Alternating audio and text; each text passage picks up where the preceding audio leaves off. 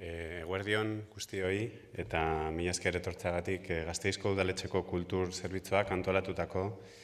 kazetaritza bertatik bertara jardunaldietara. Gaurkoan, el, buque,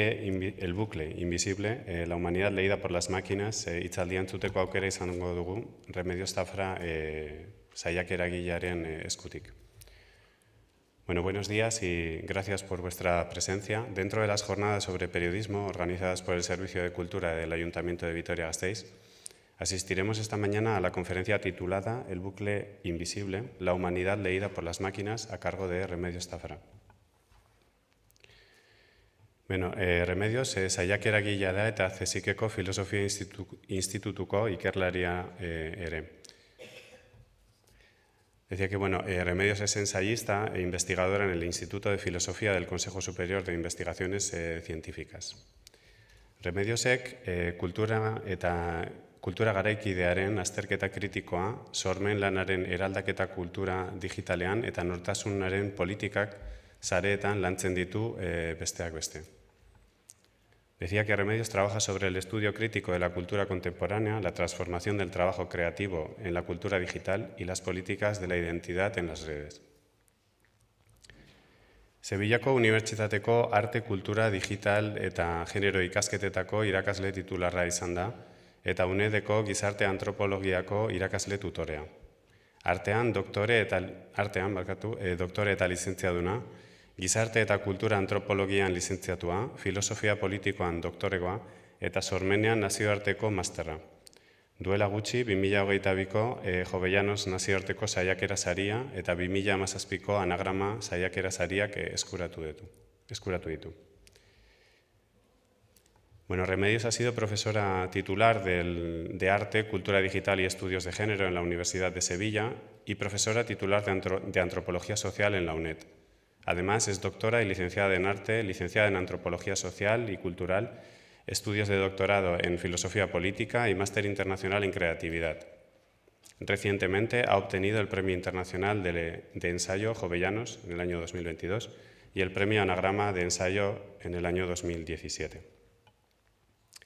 Bere azken liburuen artean, e, nabarmentzekoak dira e, honako hauek. El bucle invisible, nazioarteko Jovellanos saria 2022an, Frágiles, cartas sobre la ansiedad y la esperanza en la nueva cultura, 2008 batean, el entusiasmo, precariedad y trabajo creativo en la era digital, anagrama saiakera saria 2017an. Entre sus, sus, últimos libros destacan El bucle invisible en el año 2022, Frágiles, cartas sobre la ansiedad y la esperanza en la nueva cultura en el año 2021 y El entusiasmo, precariedad y trabajo creativo en la era digital en el año 2017. Remedios arte eta kultura digitalari buruzko proiektuen aholkularia eta zuzendaria izan zen, Mekeko hezkuntzako informazio eta komunikazio zentro nazionalean 2002tik 2004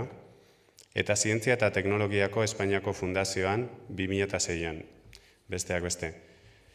Bueno, Remedios es asesora y directora de proyectos sobre arte y cultura digital en el Centro Nacional de Información y Comunicación Educativa del MEC entre los años 2002 y 2004 y en la Fundación Española para la Ciencia y la Tecnología en el año 2006, entre otras entidades. 2008-bitik, 2008-irura, lan ministerioko prekarietateari eta osasun mentalari buruzko ikerketa batzordeko kide izan da.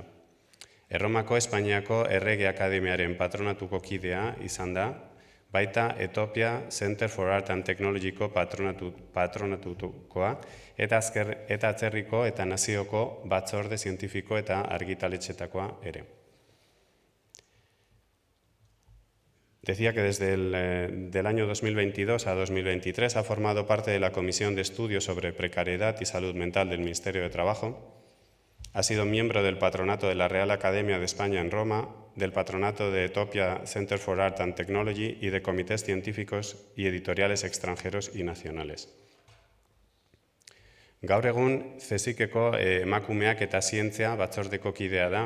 eta adimen artifizialari buruzko zezikeko aiubeko sare zientifiko teknikoko kidea ere bada, komunikabidetan ere e, lankidetzak egiten ditu sarritan. Decía que actualmente es vocal en la Comisión Mujeres y Ciencia del CSIC y forma parte de la red científico-técnica del CSIC AYUB, sobre inteligencia artificial y también colabora de manera habitual en medios de comunicación. Beno, e, besterik gabe hitza emango diot e, remedio estafrari, gogoratu hitzaldia maitzerakoan e, galderak egiteko aukera izango dela, mesedez beti bezala eskatu txanda, altzatu eskua eta itxaron mikrofona izan arte. Mesedez, e, remedio eskatu digu ahalik, e, ahal baldin badugu mikrofona hurbiltzeko, e, berak ondo entzuteko e, egin nahi diogun galdera. Vale? Mesedez, e, itzali edo mututu sakeleko telefonak, e, eskerrik asko. Bueno, voy a pasarle la palabra ya eh, a, Remedios, a Remedios Tafra. Eh, recordarles que al finalizar la conferencia se abrirá un turno de preguntas. Eh, como viene siendo habitual, por favor, vamos a esperar a nuestro turno. Levantamos la mano, esperamos el micrófono y nos lo acercamos para que Remedios pueda escuchar bien la, pregunta. por favor, apagar o silenciar los teléfonos móviles. Muchas gracias. Muchísimas gracias. Ah,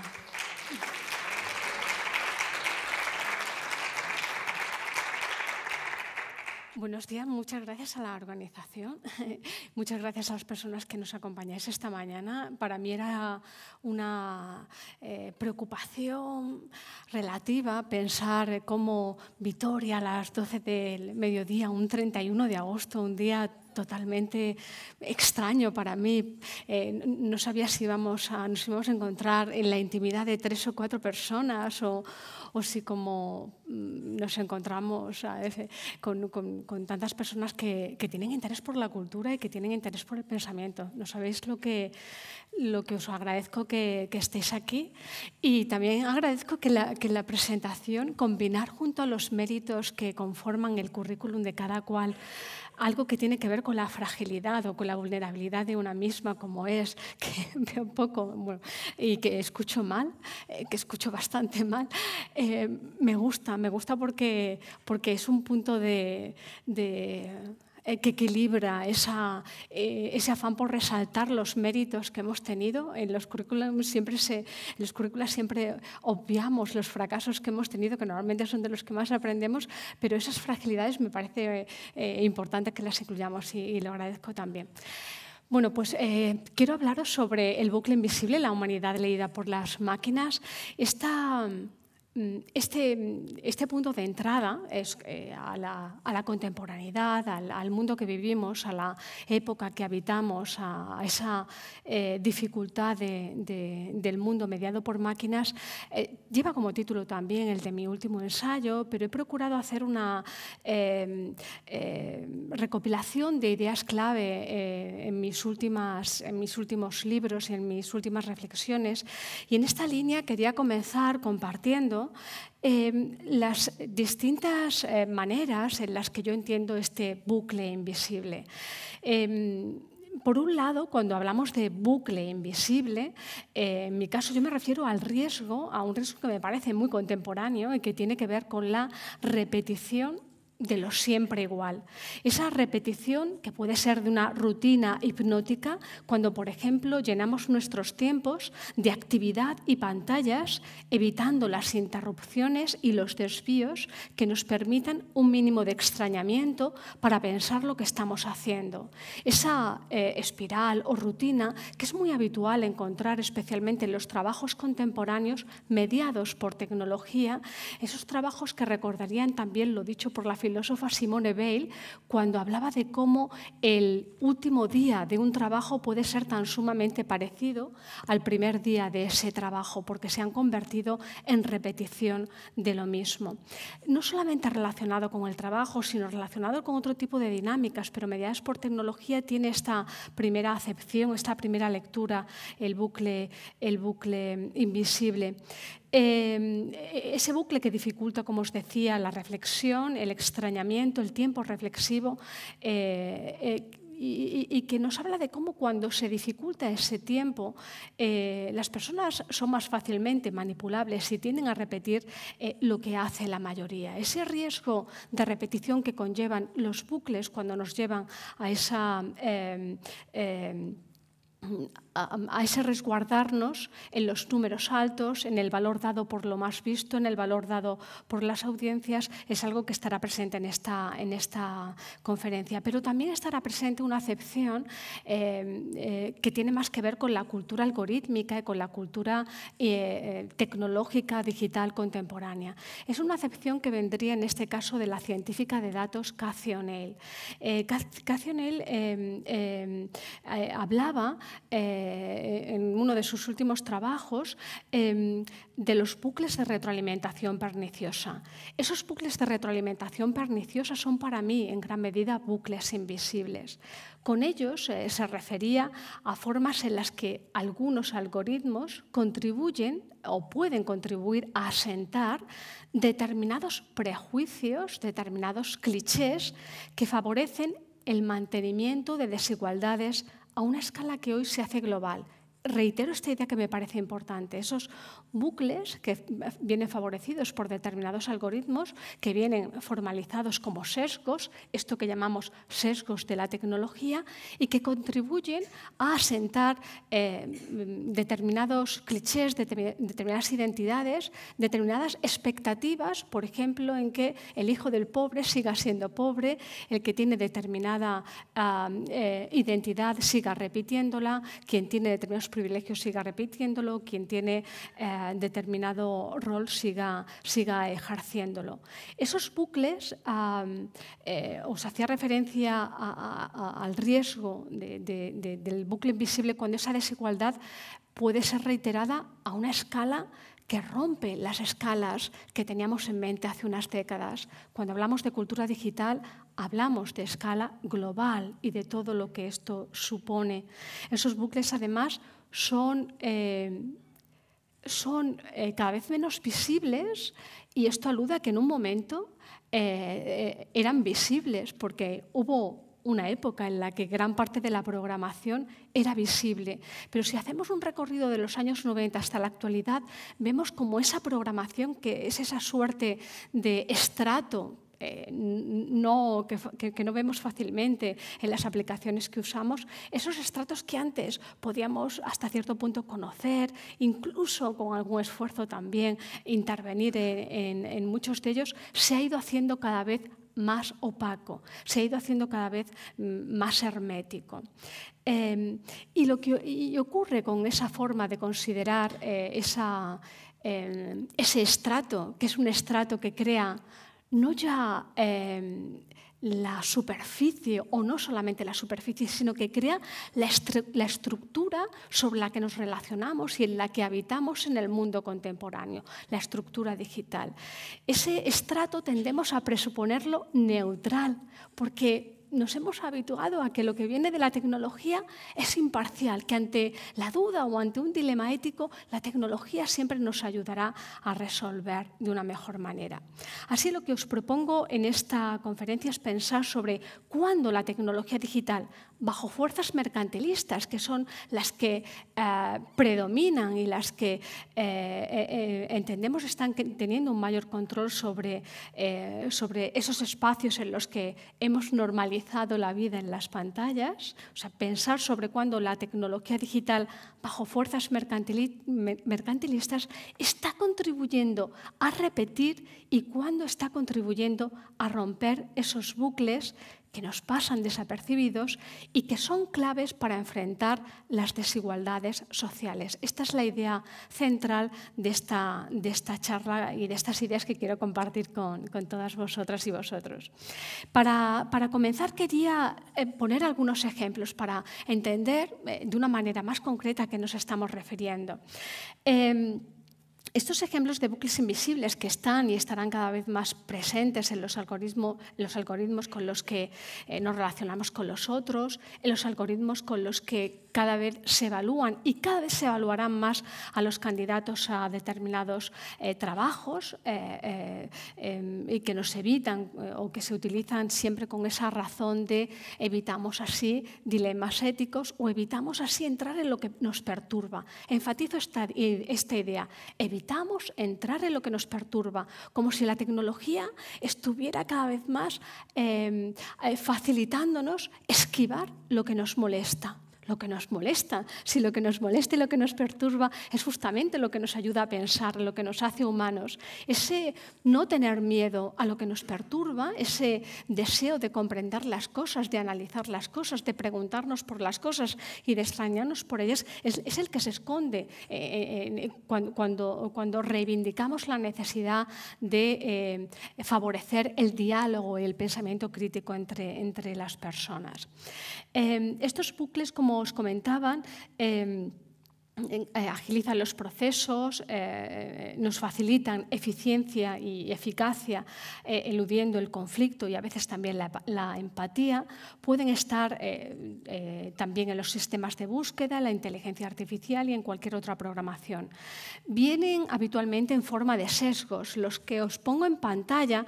son algunos ejemplos posibles. El primero es un ejemplo, es una imagen extraída de una experiencia que compartía una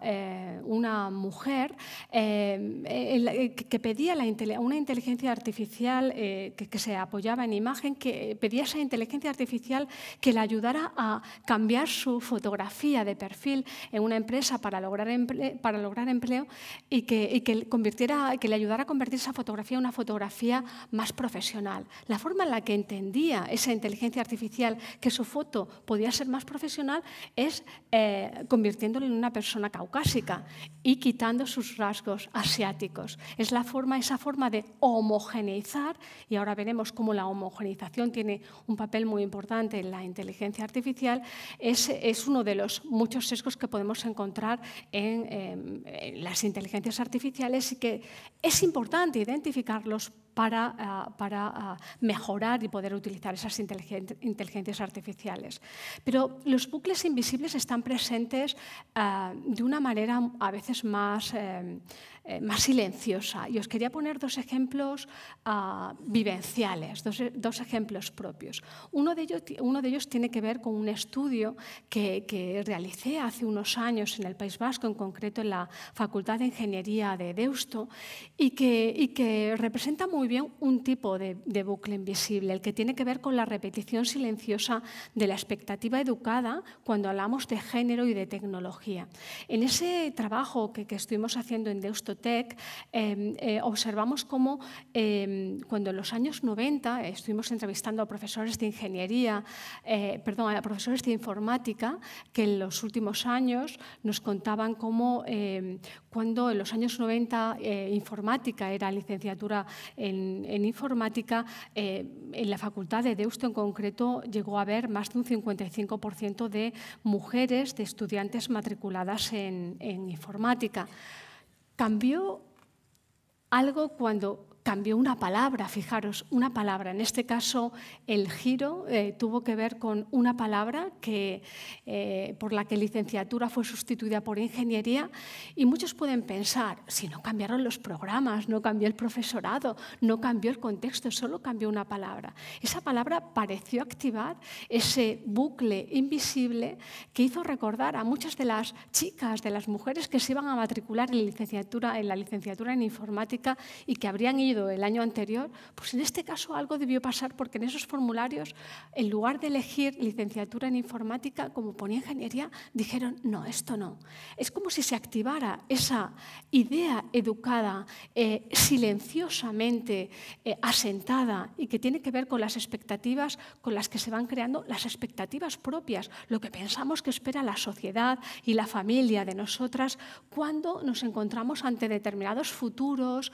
aficiones, trabajos, etc. El caso es que esa palabra ah, hizo que al año siguiente ese 55 se convirtiera en un 38% y al poco tiempo en un 13%. Una palabra que logra eh, este, este cambio para mí tiene que tener una consideración de, cuando menos, de interruptor simbólico, de una, de una eh, palabra capaz de hacernos pensar en, en, cuáles son los bucles que se, eh, que se facilitan en esa asociación en este caso entre el género y la, tecnología, y cómo podemos eh, eh, modificarlos, porque si una palabra los activa, podemos también tantear, experimentar, imaginar, jugar eh, con eh, ideas que nos permitan también cambiar las cosas desde esa intervención en determinadas palabras. El ejemplo al que alude la, tercera frase, en la que os hablo de inercia del imaginario, mujeres conectadas, tiene que ver con otra vivencia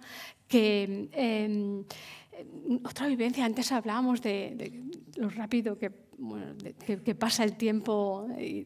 no sé vosotros, yo últimamente de casi todo lo que hablo pasa como mínimo 20 o 25 años y esta vivencia tiene que ver con algo que aconteció a, principios de los años 2000, cuando empezamos a,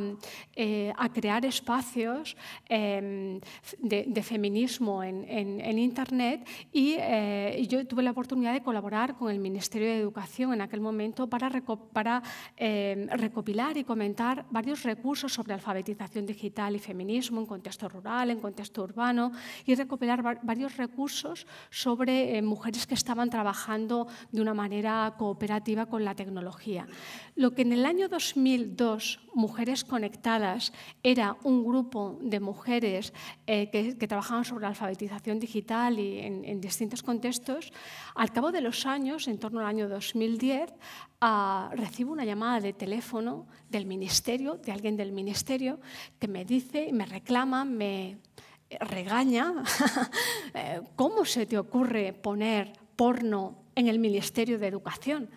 Yo no he puesto porno, aunque dudé en su, porque es cierto que algunos proyectos creativos eh, que trabajan sobre pospornografía podían ser interpretados y no eran contextualizados y dudé, pero efectivamente no era algo que yo hubiera enlazado. Eh, lo que aconteció, que es lo que acontecía en la primera década de los 2000 de una manera muy habitual, es que cuando eh, queríamos hacernos con un dominio que contuviera la palabra mujer en cualquier idioma, casi todos estos dominios eran dominios pornográficos, eran dominios que eran copiados, perdón, comprados por empresas, negocios que querían dedicarlo a lo que daba audiencia y a lo que daba dinero. ¿Qué daba audiencia y qué daba dinero? Lo que repite, imagina lo que repite ese imaginario, en este caso patriarcal, y lo que eh, se orienta exclusivamente a rentabilizar eh, esa territorialización de los dominios. Efectivamente, mujeresconectadas.com eh, no tenía recursos para, para, seguir, porque dependía del altruismo de, de las mujeres que lo formaban. El dominio quedó libre y cuando quedaban libres los dominios eran comprados por páginas, en este caso, de porno en directo, de porno online. Tuvimos que conseguir la, la presión social y las formas en las que se ha ido construyendo Internet logró que se, que, se, lograron como casi todos los cambios que rompen esos bucles de, desigualdad eh, mediante desvíos que permitan construir eh, ese espacio de otra manera, eh, evitar esa repetición de lo siempre igual. Y ahora, si busquéis mujeresconectadas.com, encontraréis espacios de participación ciudadana eh, feminista y otro tipo de, otro tipo de proyectos. En relación a, esta, a, estos bucles, entre, que son ejemplos distintos, tanto en contextos sociales, tecnológicos como algorítmicos, donde los podemos encontrar, lo que, lo que os propongo es la necesidad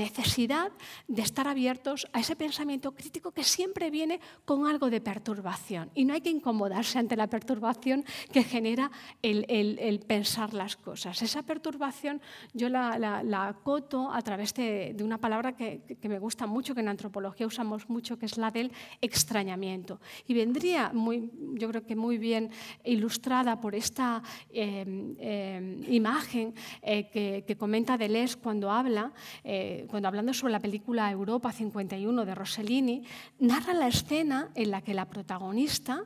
mirando una fábrica por la que ha pasado cada día, pasa por esa fábrica y ve lo mismo, los trabajadores entrando en la fábrica.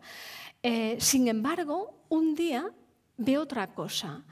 Un día es atravesada por una suerte de revelación que le hacía pasar de una percepción sensorio-motriz a otra óptico-sonora. El tránsito es descrito como un sonido demasiado violento, como un rayo visual demasiado fuerte, algo que estaba ahí sin que antes ella lo hubiera visto y de pronto se le hacía lo intolerable, lo insoportable. Seguro que cada una de las personas que estéis aquí tenéis vivencias similares en relación a esto que decimos que está a, multitud de cosas que vemos normalizadas y que de pronto, aunque las teníamos cerca, no habíamos observado en por qué se hacían así. Ese gesto que es a veces ese, eh, estremecimiento es el que yo creo que, necesitamos poner en práctica. Mi, esfuerzo en, la cultura y en el pensamiento es ponerlo en práctica a través de la cultura, a través de la ciencia, a través de, de la lectura y sobre ello al final de la charla daremos también algunos ejemplos. Para entrar en, más de lleno en ese bucle invisible, en esa humanidad leída por las máquinas, os comentaré como un punto de, partida para, para eh, para este recorrido eh, pensativo eh, vendría de, esta idea de, Simone Weil en la condición obrera. fijaros, es una filósofa que, esto nos lo decía hace 100 años, pero sigue siendo, a mi modo de ver, sus reflexiones en torno al trabajo y a las formas de opresión normalizadas sigue siendo especialmente lúcida y, actual. En, Simone Weil identificaba una diferenciación que yo comparto y a la que no me referiré solamente, eh, como ella eh, indica, en relación a, las organizaciones sociales, sino también me referiré como, como una clasificación que puede sernos útiles, eh, útil para hablar de las herramientas humanas. Esta pensadora afirmaba que desde un punto de vista moral, una organización y podríamos, yo creo que extrapolarlo también a una herramienta social, puede ser buena si tiende a atenuar desigualdades, elevando y no eh, rebajando y no achicando. Es decir, buena si tiende a rebajar esas desigualdades, negativa si tiende a ampliar esas desigualdades. Pero llamaba la atención sobre un tercer elemento que me parece importante para hablar del bucle invisible. Llamaba la atención sobre eh, cómo eh, esa organización puede ser odiosa si genera compartimentos estancos. Esos compartimentos estancos son hoy más que nunca viables, porque ante el espejismo de movilidad, de estar constantemente haciendo cosas, constantemente siendo productivos o hiperproductivos, se genera esa sensación de seguir en el mismo lugar, de seguir en ese mismo lugar eh, que nos recuerda ese compartimento estanco en el que cuando a lo mejor nos preguntan por qué está pasando cuando eh, no funciona el ascensor social y cuando seguimos viendo que, las personas no, no, pueden seguir aspirando a, a, mejorar sus condiciones de vida, eh, estamos hablando de, de, de esa presión de esos compartimentos estancos. Em, esos compartimentos estancos, que son también metáfora de ese bucle invisible que, os comento, em, encontrarían en, los bucles de retroalimentación perniciosa de los que hablaba Cacionel em, tres puntos de intensidad que quiero compartir brevemente. Cathy O'Neill hablaba de, que esos bucles eh, que se encuentran presentes en, gran parte de la programación tecnológica y que es importante identificarlos para mejorarlos, o sea, es una crítica que, no es una crítica pesimista, es una crítica que reclama ser propositiva e intervenir en ellos y, por tanto, modificarlos. Eh, ella identificaba eh, los tres nodos que os, que os señalo, identificaba como riesgos para la intervención actual en esos bucles de retroalimentación, en primer lugar, la opacidad. Eh, la opacidad como seña de, esa, eh, mm, de, la estructura algorítmica que hoy se nos hace absolutamente invisible porque se convierte en el corazón empresarial de las industrias digitales. Y esto tiene muchos matices, por supuesto, pero en tanto esas industrias digitales están conformando el suelo y la estructura social en la que normalizamos nuestra vida social en un mundo mediado por pantallas, cabe pensar si tenemos que conocer eh, para también tomar partido en cómo se, se está construyendo ese mundo digital. En segundo lugar, la homogeneidad. La homogeneidad a mí es uno de los que más me inquietan porque extrapolado en los contextos, en contextos como la universidad se ve muy claramente su afectación.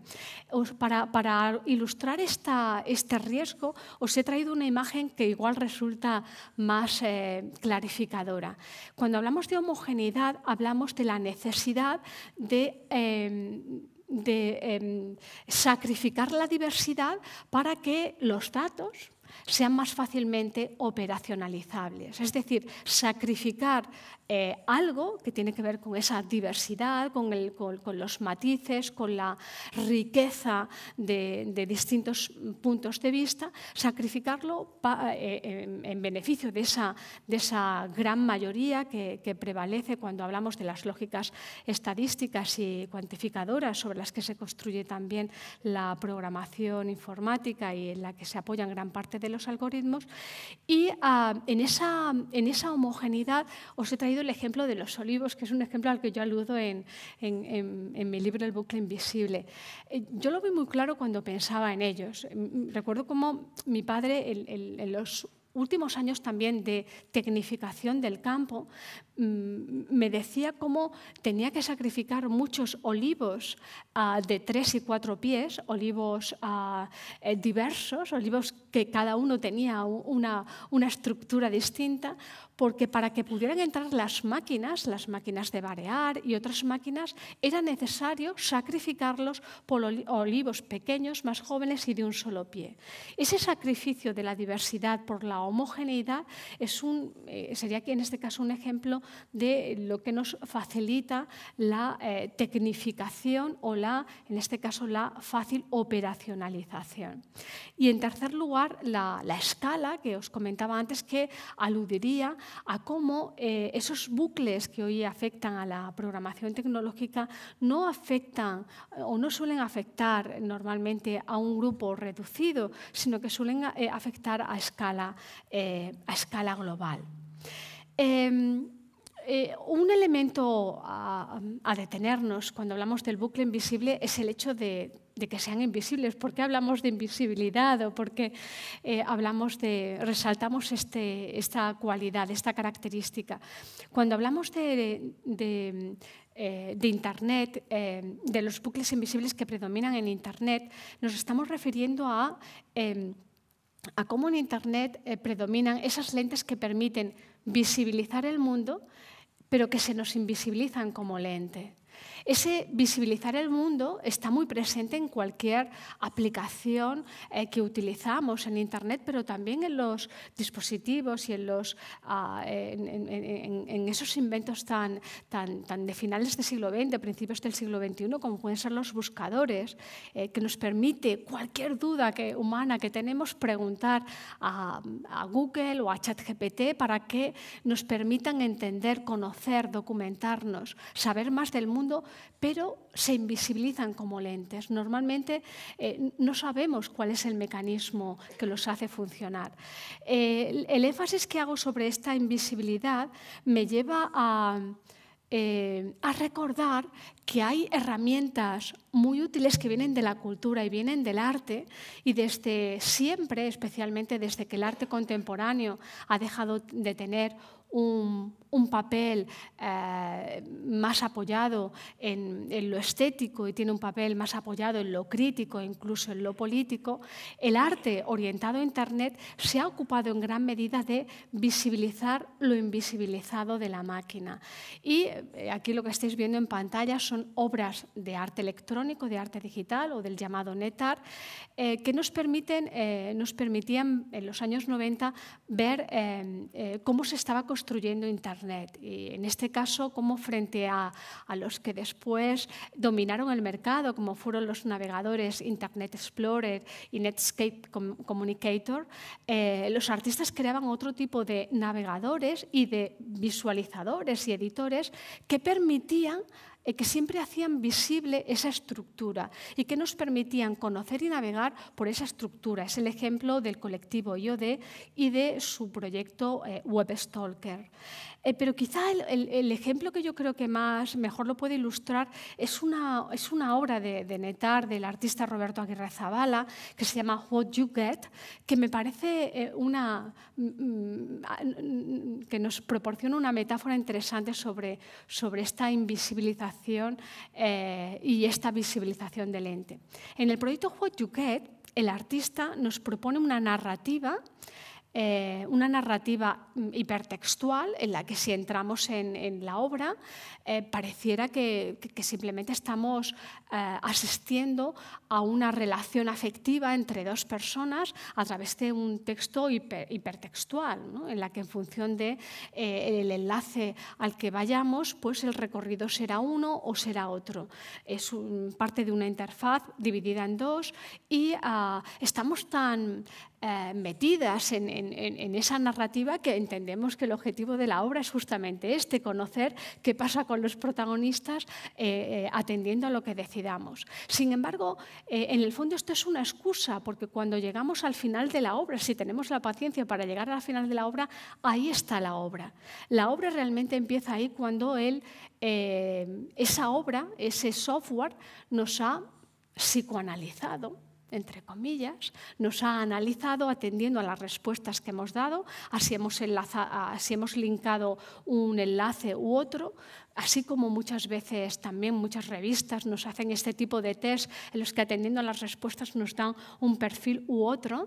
eh, pues atendiendo a lo que hayamos hecho eh, nos devuelve una imagen en la que cada uno de nosotros somos los protagonistas y en la que nos propone una comunidad determinada de eh, usuarios con la que poder relacionarnos. ¿Nos parece eh, eh, que esto podría ser una analogía de cómo las hoy tan presentes redes sociales permiten crear ese espejismo de socialidad en lo público cuando realmente acontecemos a una constante lectura eh, que la máquina está haciendo de cada uno de nosotros. Y esa, ese la máquina nos lee eh, es algo que, que, se ve muy presente por la multitud de datos, de información que vamos dejando de una manera inconsciente que termina configurando perfiles ah, eh, que, son, que son instrumentalizados por, por estas industrias desde ese elemento importante también en las industrias digitales de las redes digitales, la conversión de, la puerta de entrada en Internet eh, eh, del yo, el yo como entrada a, las redes sociales y el yo como entrada al espacio, al espacio ah, online disfrazado como espacio público. Em, e, esta idea de ser leído por, por la máquina es también, en cierta medida, eh, comentada por Cathy O'Neill cuando habla de cómo en la cultura contemporánea, mientras los privilegiados son leídos por personas, cada vez más las masas son leídas por máquinas bajo fuerzas monetarias. A mí me parece una, una idea importante y una idea que no solo describe lo que está pasando, sino que describe también un augurio, cercano de esa orientación eh, futura en relación a las máquinas. Y me parece importante porque mientras eh, la gran mayoría tenemos como interlocutores o a máquinas o a personas precarias que eh, trabajan como si fueran máquinas y que em, ponen, que, eh, pierden la empatía en favor de la eficacia, que, no, no, pueden ser personas. Cuando nos atienden em, como teleoperadoras, personas que nos tienen que dar información sobre algún asunto, a veces supongo que muchos habéis sentido ese, esa sensación de angustia, de paroxismo, a veces como de llanto, de eh, si he pedido hablar con un humano y hablamos con humanos y nos encontramos que no pueden salirse del del, compartimento cerrado en el, que, en el que está esa información. Me, parecía interesante complementar esta idea de Cathy O'Neill de, que los humanos mayoritariamente, los, bajo fuerzas monetarias, somos leídos por máquinas y por humanos que actúan como máquinas, que son los humanos precarizados y aquellos que, se precarizan. Eh, eh, eh, eh, perdón, aquellos cuyos trabajos precarios son tan sumamente baratos y rentables para la industria que todavía no han sido sustituidos por inteligencia artificial, pero que son los que están justamente en ese punto de mira.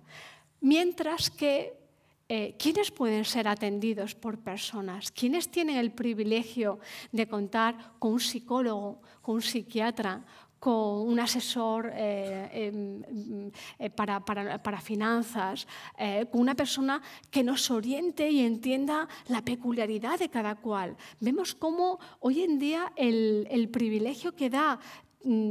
tener dinero eh, eh, es un privilegio que se materializa también en que esa interlocución es una interlocución de humanos que te tratan como humanos. Y en gran medida cuando pensamos en lo acontecido en Silicon Valley, en las escuelas de Silicon Valley, donde muchos de los gurús informáticos llevan a sus hijos a escuelas en las que no se usa tecnología y en las que se garantiza que el trato de esos niños con los compañeros y con los profesores es un trato humano, creativo, un, trato expuesto a, esa humanización que parece ponerse en riesgo cuando se tiende a esa sobredosis de deshumanización mediada por, eh, por máquinas. Bueno, ya de una manera más breve, lo, que, lo que, pretendo en el tiempo que, tenemos de, charla es eh, identificar eh, que lógicas del tecnocapitalismo eh, favorecen eh, la desigualdad del bucle invisible, eh, comentaré algunas ideas sobre ellas, y, y, me gustaría terminar proponiendo algunas estrategias o algunos ejemplos propositivos en los que los humanos hemos sabido ah, subvertir esas lógicas y para, convertirlas en emancipación. En relación a esas lógicas del tecnocapitalismo, eh, quería hablaros del exceso, la caducidad y la aceleración precaria, del desdibujamiento de los marcos de verdad, la desarticulación colectiva y el enfriamiento humano y la hiperproducción competitiva y la autoexplotación. Eh, mm, realmente quiero, quiero, resaltar ideas muy, muy sencillas de cada uno de, estos, eh, de estas características del tecnocapitalismo que desarrollo especialmente en Frágiles y en el entusiasmo. Fijaros, esta idea del exceso y la aceleración eh, podrían tener su, su, contralectura también positiva, porque cuando hablamos de exceso, de cantidad, de, de números altos, estamos hablando de algo eh, de ese punto de inflexión que, aconteció cuando comenzamos a normalizar Internet en nuestras vidas y eh, todo cambió. En lugar de unos pocos eh, que, hablaba, que antes hablaban a muchos, siguieran teniendo ese privilegio, todos empezamos a hablar entre todos y con todos. Ese todos hablamos a todos y al mismo tiempo generó un exceso de voces que fácilmente se convertía en, se convertía en ruido. Ese exceso, ah, bajo esas lógicas tecnocapitalistas, eh, es fácil ah, derivarlo a lo que autores como Paul Virilio denominaban la, censura del exceso, es decir, un tipo de censura que no tenía que ver con, la que, eh, con aquella de la que hablamos en otros contextos, la censura de la omisión de esto, ¿no? sino una censura del todo, es, estar, al, convertir todo en foco de luz, eh, eh, hablamos de una nueva forma de ceguera. No, hay cosa peor para, para, no ver que, que todos sean luces, porque necesitamos ese contraste, necesitamos esa sombra, necesitamos esos párpados para, para ver. Esta idea eh, del exceso unida a la aceleración, y a la aceleración en este sentido, entendida desde, desde la manera en la que Pierre Bourdieu la ha trabajado también eh, cuando habla de tecnología, refiriéndose a cómo para que la tecnología permita la velocidad eh, convertida en, aceleración, precisa apoyarse en ideas preconcebidas, en ideas que ya estaban en nosotros y que por tanto no requieren esos tiempos necesarios para, para pensarlas, ese extrañamiento necesario para hacerlas pensativas. El apoyarnos en ideas preconcebidas es una forma de apoyarnos en bucles invisibles, en ideas que se van repitiendo y que tienden a presuponer que tal persona, como viene de este barrio, hará determinadas cosas, o esta persona que viene de este otro barrio hará estas otras, o como su código postal es este, que es de un barrio que está bien, hará o sea, esas presuposiciones que atendiendo a los datos que permiten leernos en función de esas distintas identidades que nos conforman de cara a las máquinas nos permitirán eh, reiterar lo, que se presupone vamos a, hacer. Esa presuposición eh, y ese, ese, predominio de ideas preconcebidas es terrorífico para, para el corazón humano, eh, si entendemos por corazón humano la capacidad de pensar sobre nosotros mismos y de pensar en los otros. Y en tanto pensamos la capacidad de, eh, y en tanto pensamos eh, eh, tener esa capacidad de posicionarnos, de disentir, de romper respecto a, a, lo que se presupone, de no ser como esas identidades que nos presuponen simplemente por ser de un lugar o por tener determinado color de piel. Eh, e-, esa, esa, puesta en crisis de esa libertad es a la que alude, por lo tanto. Eh, eh esta combinación de exceso y aceleración bajo fuerzas mercantiles eh, ese refuerzo de emociones, ideas preconcebidas bajo lógicas, eh, esa lógica de que no puede haber paradas reflexivas sin tiempo para pensar, esa dificultad del tiempo eh, reflexivo la encontramos cuando lo que se predominan son lógicas emotivas apoyadas en el gustar, el to like es el, eh, es el principio dominante donde queremos que haya ritmos una cadencia que, se repita y que sea acelerada porque exige, exige, una afinidad, no exige esa complejidad de un eh, pensamiento. Eh, bajo la primacía de la aceleración, el exceso y uniría también la caducidad, eh, hemos, hemos, asistido al, al, al, posicionamiento, a la hegemonía de sistemas de valor que, que estamos normalizando y que eh, debiéramos cuestionar.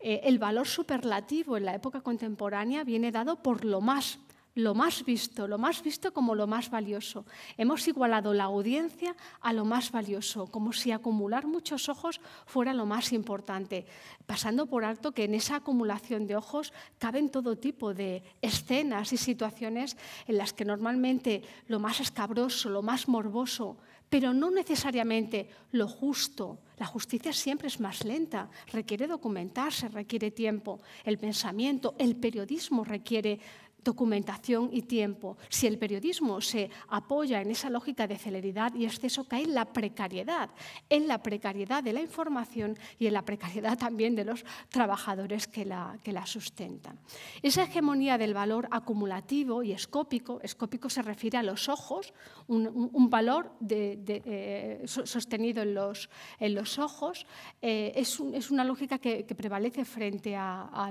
eh, esa lógica acumulativa eh, es la que, la que sustituye a la lógica narrativa, que es la lógica de, del pensamiento y de, la, y de la creatividad lógicas que se sostienen también en la caducidad de lo fácilmente sustituible. Y, esto tiene mucho que ver con lo que en estos días imagino que estéis hablando cuando habláis de periodismo y cuando se habla de cómo la presión por esa, eh, esas noticias que se van sustituyendo de una manera muy rápida dificulta el, el que se puedan eh, profundizar en las, en las informaciones. Valores, por tanto, que favorecen sistemas de organización que derivan más a la oclocracia que a la democracia. Esa diferenciación es interesante porque por democracia entendemos el gobierno de una mayoría informada que lee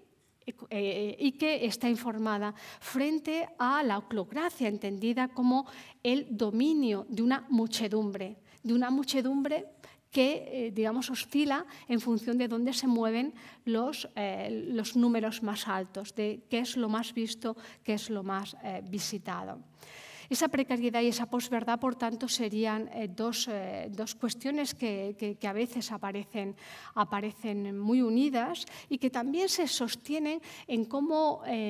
cuando, nos, cuando accedemos a, a la red, eh, esa dificultad de llegar a lo profundo, al pensamiento, de, de, de, afrontar el espesor que puede tener la información, nos, se, ve, se ve dificultada porque tendemos a, a, surfear la información, a surfear el texto. Esta es una idea de Marisa Olson que dice cómo, eh, que, que, que apunta a cómo la información y el texto puede estar convirtiéndose en imagen, puede estar adquiriendo una, un tono más visual que que, textual, eh, porque eh, surfeamos y nos vamos quedando con las palabras clave o con los eh, titulares. En un contexto predominado por esa aceleración que os comentaba, bajo esas rutinas de la prisa que parecen caracterizar la época,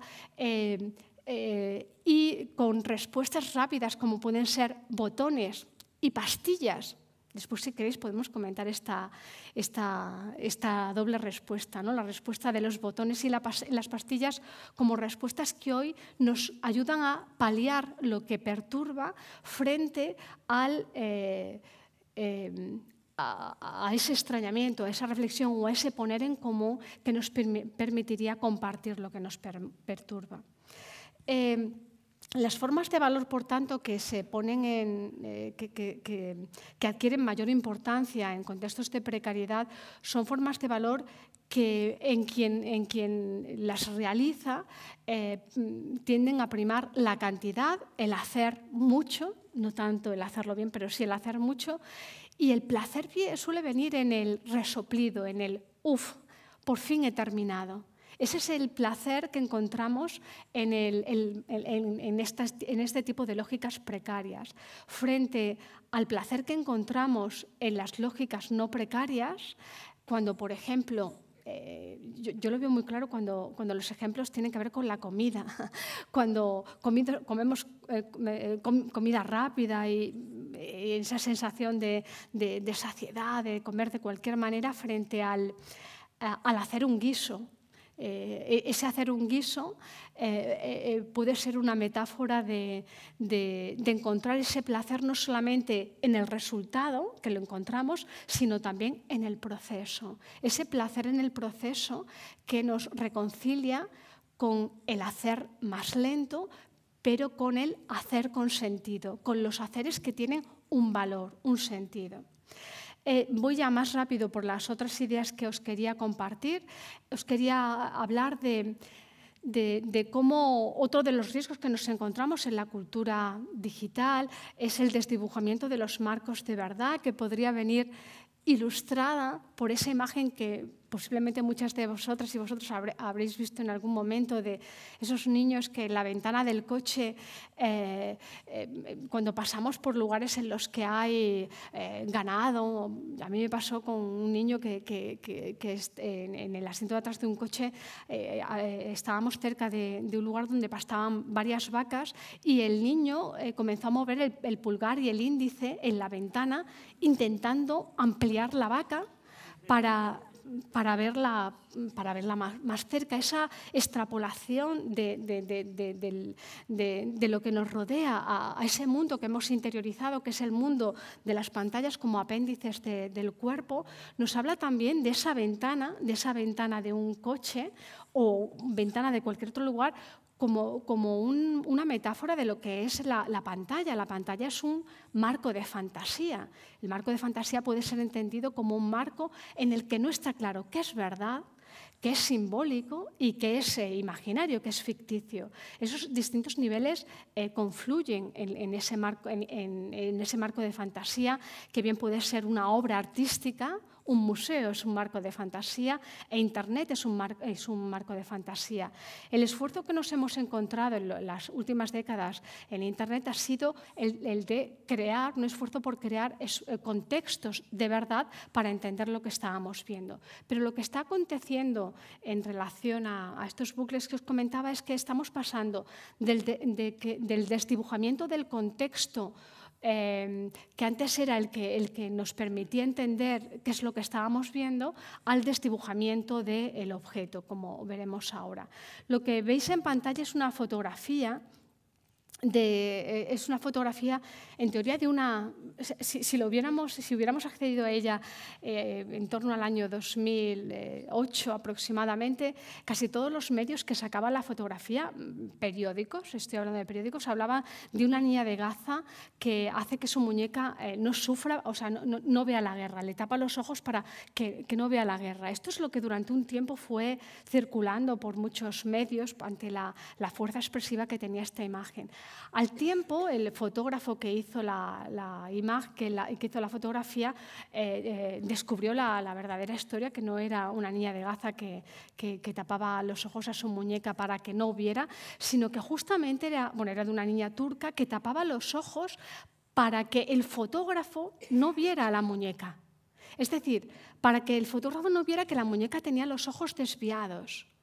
Eh, porque eso eh, lo que le dolía a la niña es que, es que pudieran reírse de la muñeca por tener los ojos desviados. Esta, esta imagen me parecía muy interesante por dos razones. En primer lugar, porque nos permite entender ese desdibujamiento del contexto. No tenemos contexto y, por tanto, eh, es, es, muy fácil crear nuevas narrativas sin esas, sin esas orientaciones que nos permitan entender lo que estamos viendo. Y, por otra parte, en esa lectura de la imagen real, esa primacía que da la niña a, que no sufra, a, que no sufra la, muñeca, porque no vean a la muñeca, porque, eh, porque eh, eh, los ojos del que está fotografiando pueden dañar. Esta idea de que las miradas pueden dañar es algo muy presente para quienes habitamos en Internet y para quienes estamos expuestos al escrutinio público 24 horas cada día. Esta idea del dolor de las miradas. Eh, fijaros cómo el desdibujamiento del contexto, que es algo muy habitual hasta hace unos años, eh, nos ha derivado al desdibujamiento del objeto. Ya no es solamente el contexto lo que está en duda, lo que está en duda es también el propio objeto que estamos viendo, porque no sabemos si la imagen que ahí aparece es la imagen de un presidente del gobierno o es la imagen de nuestro vecino, o es,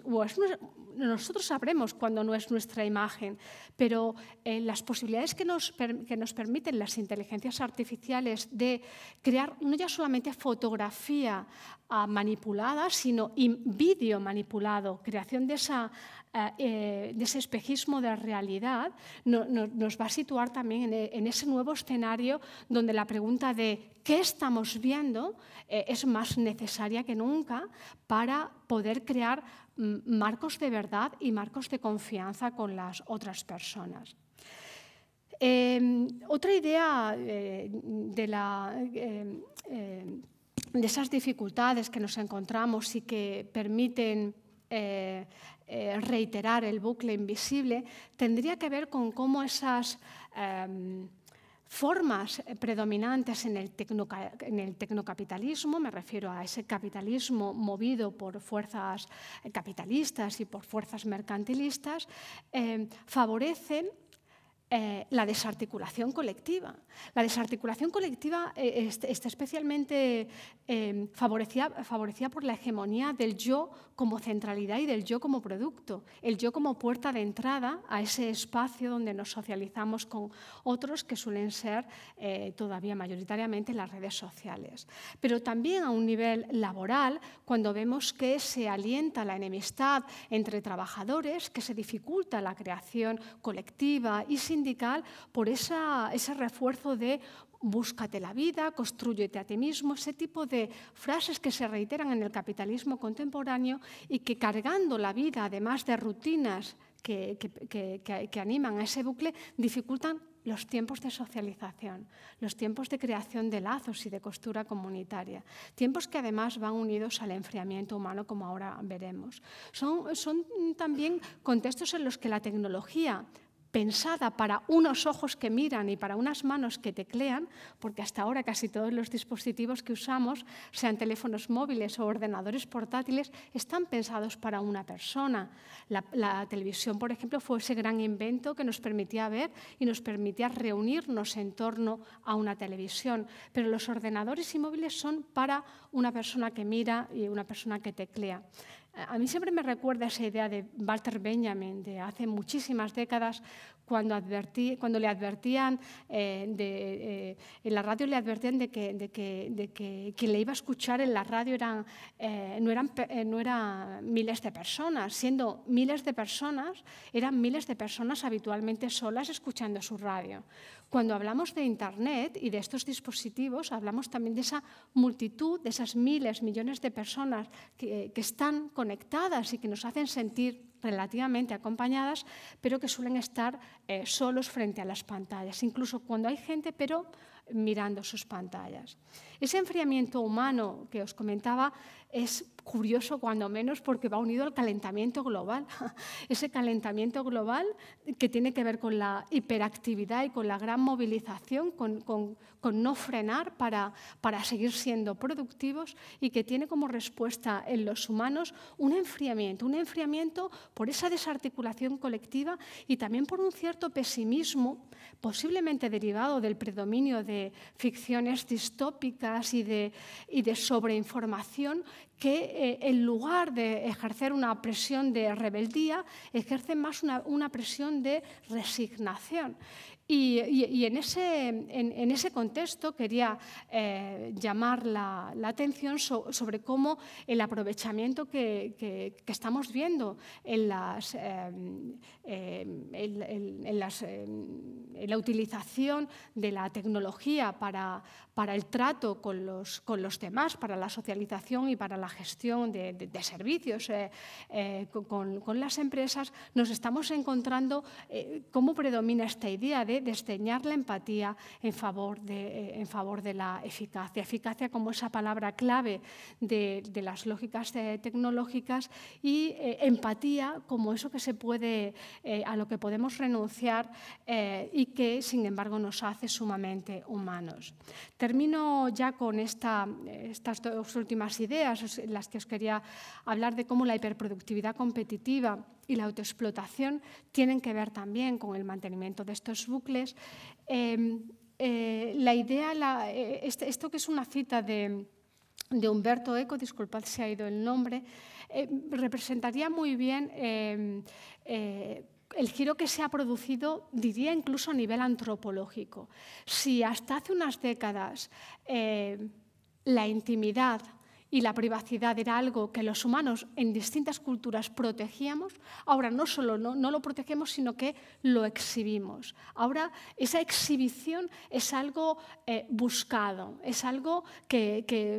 parece también normalizado. Eso es, eh, eh, la idea que comenta Humberto Eco va, en, esta, en esta línea. Sin embargo, a mí me parece muy interesante diferenciar cuando estas fuerzas vienen de fuera, cuando es el mercado el que anima a que compartamos todo lo íntimo para hacerlo público y cuando eh, esas fuerzas son interiores. Porque, ojo, cuando vienen de nosotros y de nosotras, podemos encontrarnos casos como el feminista, que es el que os quiero proponer como un caso de desvío del bucle. Eh, en el feminismo Em, hemos eh, eh, convertido lo íntimo en público a, través de,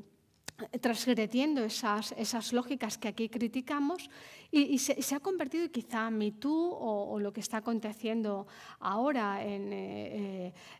con nuestra sola sería también, iría también en esta línea, ¿no? como algo que forma parte de una eh, expectativa educada o de un silencio educado es sentido como algo íntimamente opresivo que de pronto se comparte con alguien y ese alguien lo comparte con alguien y de pronto nos identificamos con iguales e identificamos algo que, no que, nos habían educado a, a pensar, de esto no se habla, estas son cosas que nos guardamos para, nosotras. Esa conversión de lo íntimo, cuando es opresivo, en algo público y político, hablaría de esa posibilidad de transgresión, de, esa eh, em, conversión de lo íntimo en público, perdón, de lo íntimo en algo exhibido, tan, propia del contexto eh, capitalista cuando se hace para, rentabilizarse. ¿no? En esta línea os quería comentar cómo las lecturas que yo he realizado tanto en Frágiles como en el bucle están muy relacionadas con el ámbito laboral, porque en ese sentido he encontrado muchas analogías cuando hablamos de esa hiperproductividad cuando nos lleva a la autoexplotación. A mí me interesa observar cómo la hiperproductividad a menudo se construye sobre la precariedad y a menudo se construye sobre trabajos que sin ser precarios hablan de formas de vida precaria o de formas de vida en la que se nos dice que nosotros somos responsables de esa autoexplotación. Se, digamos, se, responsabiliza a los, a los trabajadores de, de, andar siempre ocupados, imbuidos en esos, en esos bucles. Para, eh, para romper ese bucle, nuevamente el ejemplo feminista con el que, junto con otros dos que os comento brevemente quería terminar, me parece interesante. Y para ilustrarlo, creo que nos puede ser de ayuda generar eh, una analogía entre patriarcado y ah, tecnocapitalismo. Fijaros, tradicionalmente el patriarcado se ha caracterizado, podemos definirlo de muchas maneras, pero una de las, formas en las que el patriarcado ha actuado eh, tradicionalmente ha sido eh, la conversión de las mujeres en agentes mantenedoras de su propia subordinación. Es decir, proyectar en las mujeres, hasta hace muy poco proyectaba en ellas que fueran las, más conservadoras, las que eh, eh, más velaban porque ese sistema conservador se perpetuara. De una manera similar a como ahora en el trabajo se convierte también, eh, se hace a los sujetos que se autoexplotan, se les hace responsable de, de su propia subordinación, em, eh, eh, eh, enfatizando el yo como responsable. Ojo que no se, que no se llama la atención se, llama la atención a una primera persona del singular, yo. No se habla de un nosotros o nosotros, porque si se hablara de un nosotros, veríamos que yo me autoexploto, tú te autoexplotas, ella se autoexplota, nosotros nos autoexplotamos. Y cuando vemos que hay, pasamos de una primera del singular a una primera del plural, nos encontramos con que, eh, con que el asunto es un asunto político. Y esto acontece también en esa segunda eh, idea que, que, nos permite igualar tecnocapitalismo y patriarcado o crear eh, comparaciones entre ellos. Mientras el, patriarcado se ha caracterizado hasta, hace, eh, hasta que el feminismo eh, generó ese, ese, ese se ha caracterizado por fomentar la enemistad entre mujeres y solo tenéis que ver las películas que se realizaban hasta hace unas décadas, muchas películas eh, en las que cuando aparecían algunas mujeres aparecían como rivales por el amor de un hombre,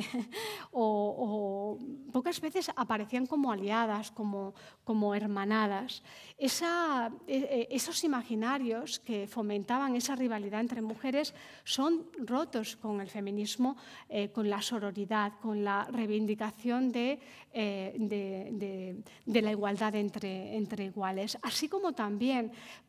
nos podemos encontrar, eh, cuando hablamos de autoexplotación y de tecnocapitalismo, que se fomenta la rivalidad entre trabajadores y que si observamos el feminismo, así como existe una sororidad, podemos hablar de una sororidad sindicalista o podremos hablar de un tipo de sororidad que nos vuelva a eh, ayudar a crear esos vínculos entre iguales.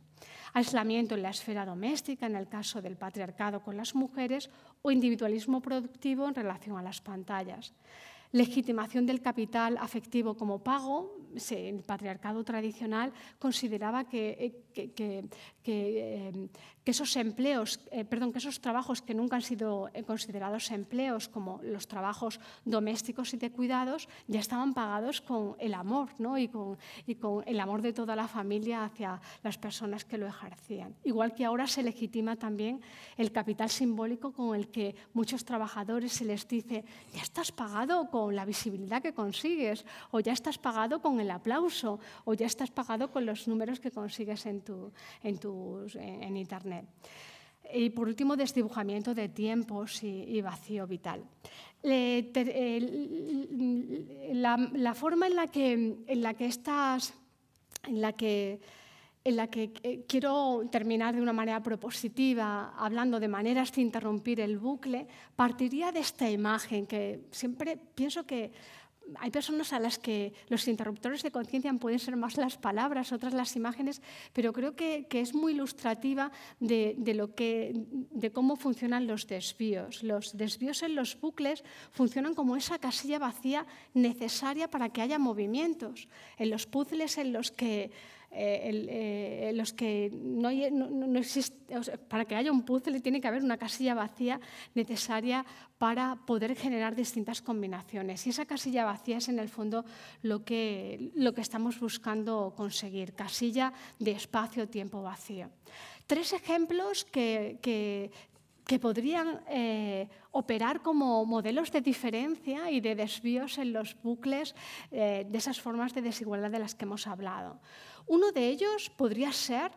eh, el ejemplo de la gran dimisión, lo acontecido en Estados Unidos en el año 2020, después de la pandemia, en el que de una manera totalmente imprevista, no, que no, pudo ser eh, anticipada por ninguna inteligencia artificial, millones de personas dejan sus trabajos. Y dejan sus trabajos, en este caso, sin estar articulados eh, política y sindicalmente. En este caso, quiero llamar la atención sobre lo que a mi modo de ver es uno, es uno de los interruptores que, que animan este desvío. En mi caso, eh, a mi modo de ver, sería la conciencia de fragilidad y agotamiento. Es decir, algo en lo que no había pensado el contexto tecnocapitalista. El decir, eh, con el sueldo tan bajo que tengo, con el trabajo ah, cotidiano que esto me supone, eh, mm, la pandemia como momento de reflexión en el que me paro a pensar, ¿puede ser que la vida sea solo trabajo? Mm, mm, ¿No estamos cambiando las tornas y no debiera ser vida en la que el trabajo es una parte de la vida y no trabajo en lo que, si tengo tiempo, algunos días de vacaciones, vivo? en esa toma de conciencia acompañada de conciencia de fragilidad y de agotamiento, tuvieron lugar multitud de, eh, posicionamientos que eh, generaron esta, esta, esta, dimensión absolutamente masiva que en el contexto español en principio no, no, ha tenido equivalentes, aunque algunas cosas se han especulado. En segundo lugar, el feminismo, del que ya hemos hablado, la sororidad y la conversión de lo íntimo opresivo en algo público y político. Y por último, con la que quiero terminar, la cultura. La cultura como, como creadora de interruptores de conciencia, cultura como, como lo que estáis haciendo aquí, lo que supongo o presupongo que hacéis muchas de las personas que estéis aquí cuando vais al teatro, a conferencias, a exposiciones. Esa cultura que es sumamente importante que a veces algunos eh, eh, empujan hacia el lado de lo inútil, esa eh, cultura es la que ayuda a que la sociedad no enferme. Y esa cultura es la que nos permite la convivencia desacomplejada de contradicciones en un mundo donde predominan esos compartimentos estancos, en la cultura podemos encontrar espacios imaginativos y creativos, tanto que hacen otros o que hacemos nosotros, en los que eh, las contradicciones pueden convivir, porque los, necesitamos esos espacios para seguir pensando. Eh, la cultura nos permite también la especulación de lo posible desde la imaginación y frente a esa opresión simbólica que a menudo encontramos en los medios hegemónicos, donde se reiteran determinadas formas de entender y de proyectar las formas de vida. La cultura también como, como ese lugar que nos permite el uso desacomplejado de la imaginación. Y no olvidemos que la imaginación tiene ese componente moral que nos permite también ah, ponernos en el lugar del otro eh, imaginando al otro. Es decir, en la imaginación que nos permite, imaginemos eh, cómo sería así o qué, pensarían estas personas. Esa, ponernos en los lugares de otros que nos obliga a empatizar con los otros opera como ese ejercicio también de, eh, de imaginación moral. y por último, acoge sin complejos la posibilidad de expresar lo difícilmente expresable, eso que eh, a veces eh, nos cuesta expresar con palabras. Os he traído algunos ejemplos del mundo del arte, donde estrategias como en las que se hace exterior lo interior, en las que se modifican los ritmos para percibir lo normalizado, es decir,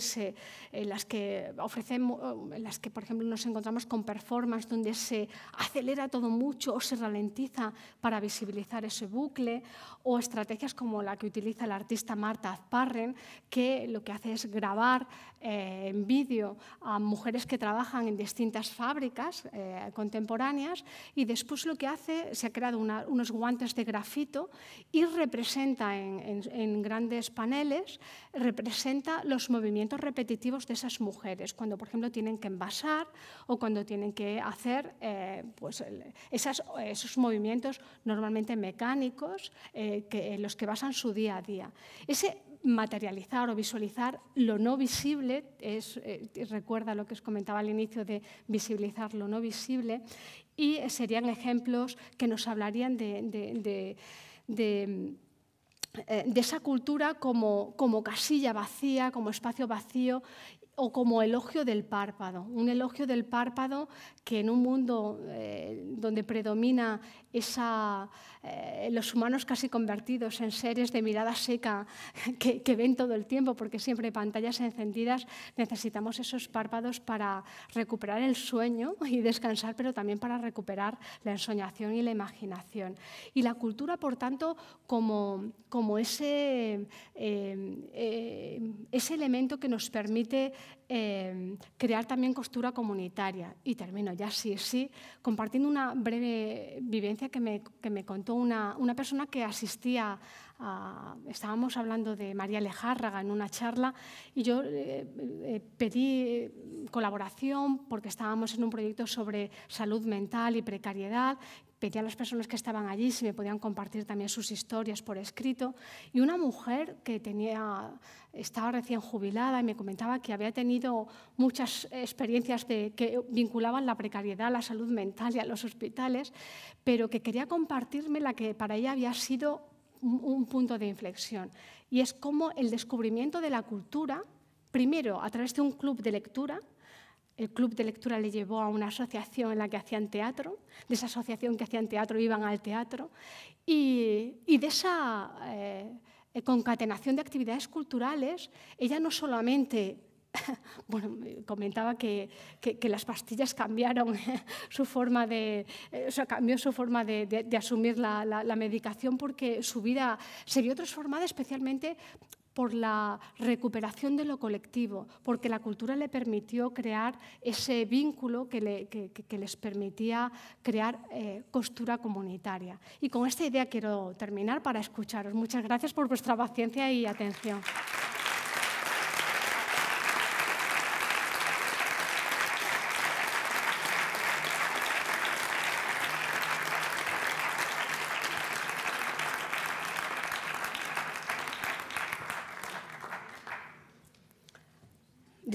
Me he un poquito más de, lo que tenía previsto, pero ojalá tengamos tiempo para escuchar, que es lo...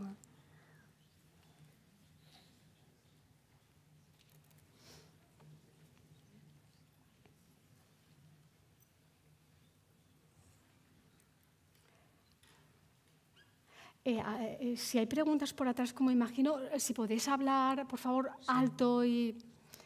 Eh, muchas gracias por tu charla, la verdad que es súper interesante y yo para mí ha sido un descubrimiento porque la verdad que no entiendo ni patata de todas estas cosas. Te quería preguntar dos cosas que no tienen, que la una con la otra no tiene mucho que ver. La una es si todos los dominios ya están ocupados. Si todavía existen dominios con posibilidad de que otros agentes que no sean capitalistas ni mercantilistas eh, creen espacios libres para,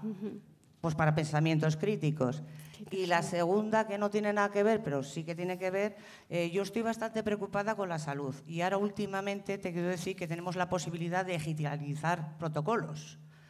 Y tenemos mucho riesgo que las sanidades públicas por ejemplo, pues tengamos una sanidad virtual, porque se pueden protocolizar, eh, todos, los, bueno, todos los protocolos se pueden digitalizar.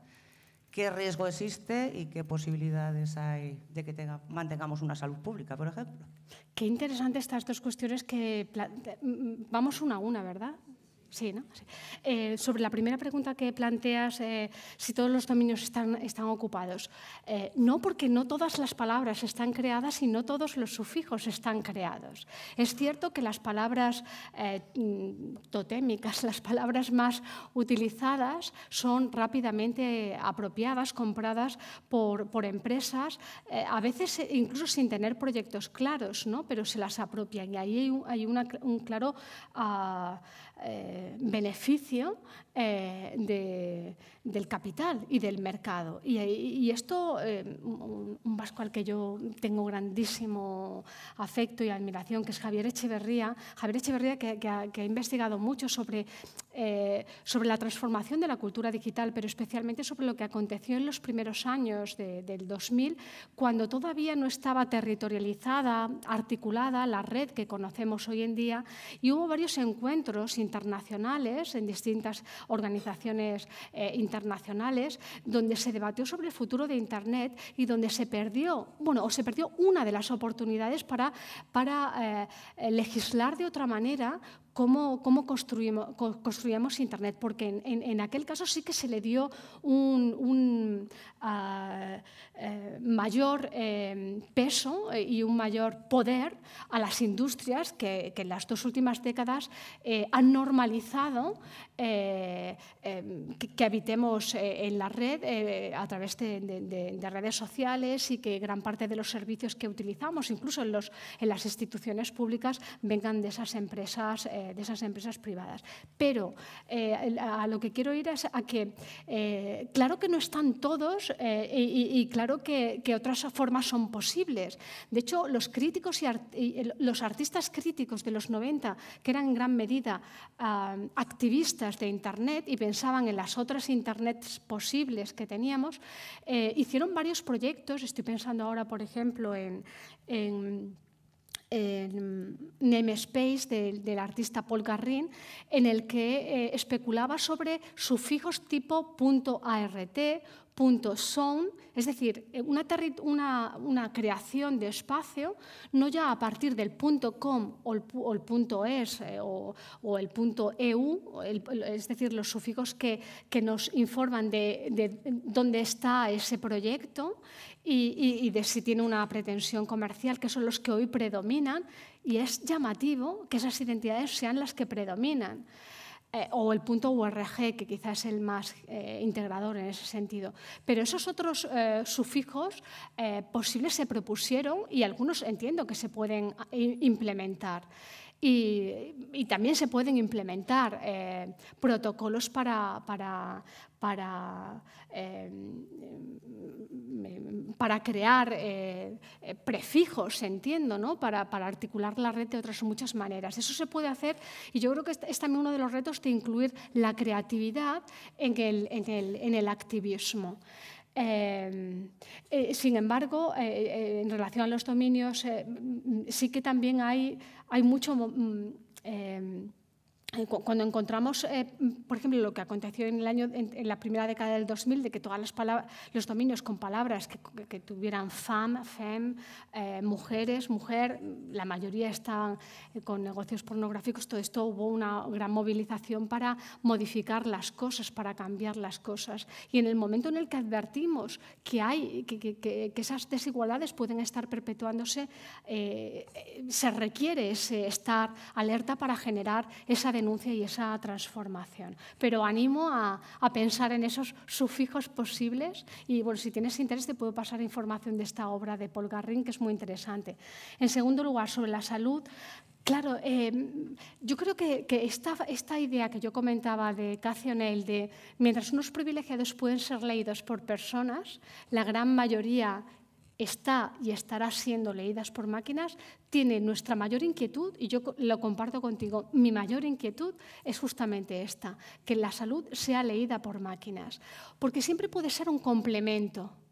Y en ese complemento, que es en el que ahora estamos también muchos que utilizamos inteligencia artificial y complementamos nuestro trabajo, pero en ese complemento muchas empresas, muchas instituciones eh, que derivan los servicios públicos a contratas, a subcontratas, a empresas, que entienden que bajo el criterio de eficacia y de, llegar a más, eh, van a, digitalizar esos servicios, eh, por supuesto se pueden poner en riesgo eh, la calidad de esos, de esos servicios. En el fondo, esos servicios de protocolización tienden a, operar en bases de datos y esas bases de datos están tanto en Internet, en muchas de ellas, y la inteligencia artificial nos puede ayudar. Pero es una información que ya la tenemos accesible. Lo que necesitamos son humanos que nos ayuden a entenderla y sobre todo a contextualizarnos como humanos, porque los problemas de salud que tenemos no son problemas de un órgano, sino son problemas de un órgano en un conjunto en, una integridad. Y yo creo que esta es una de las grandes eh, reivindicaciones que, y, de las grandes alertas que, eh, en las que tenemos que estar para impedir que esto se nos venda como algo positivo cuando eh, esconde una sustitución de un trabajo que es tan esencial como, como, un trabajo en el que necesitamos em, interlocutores humanos.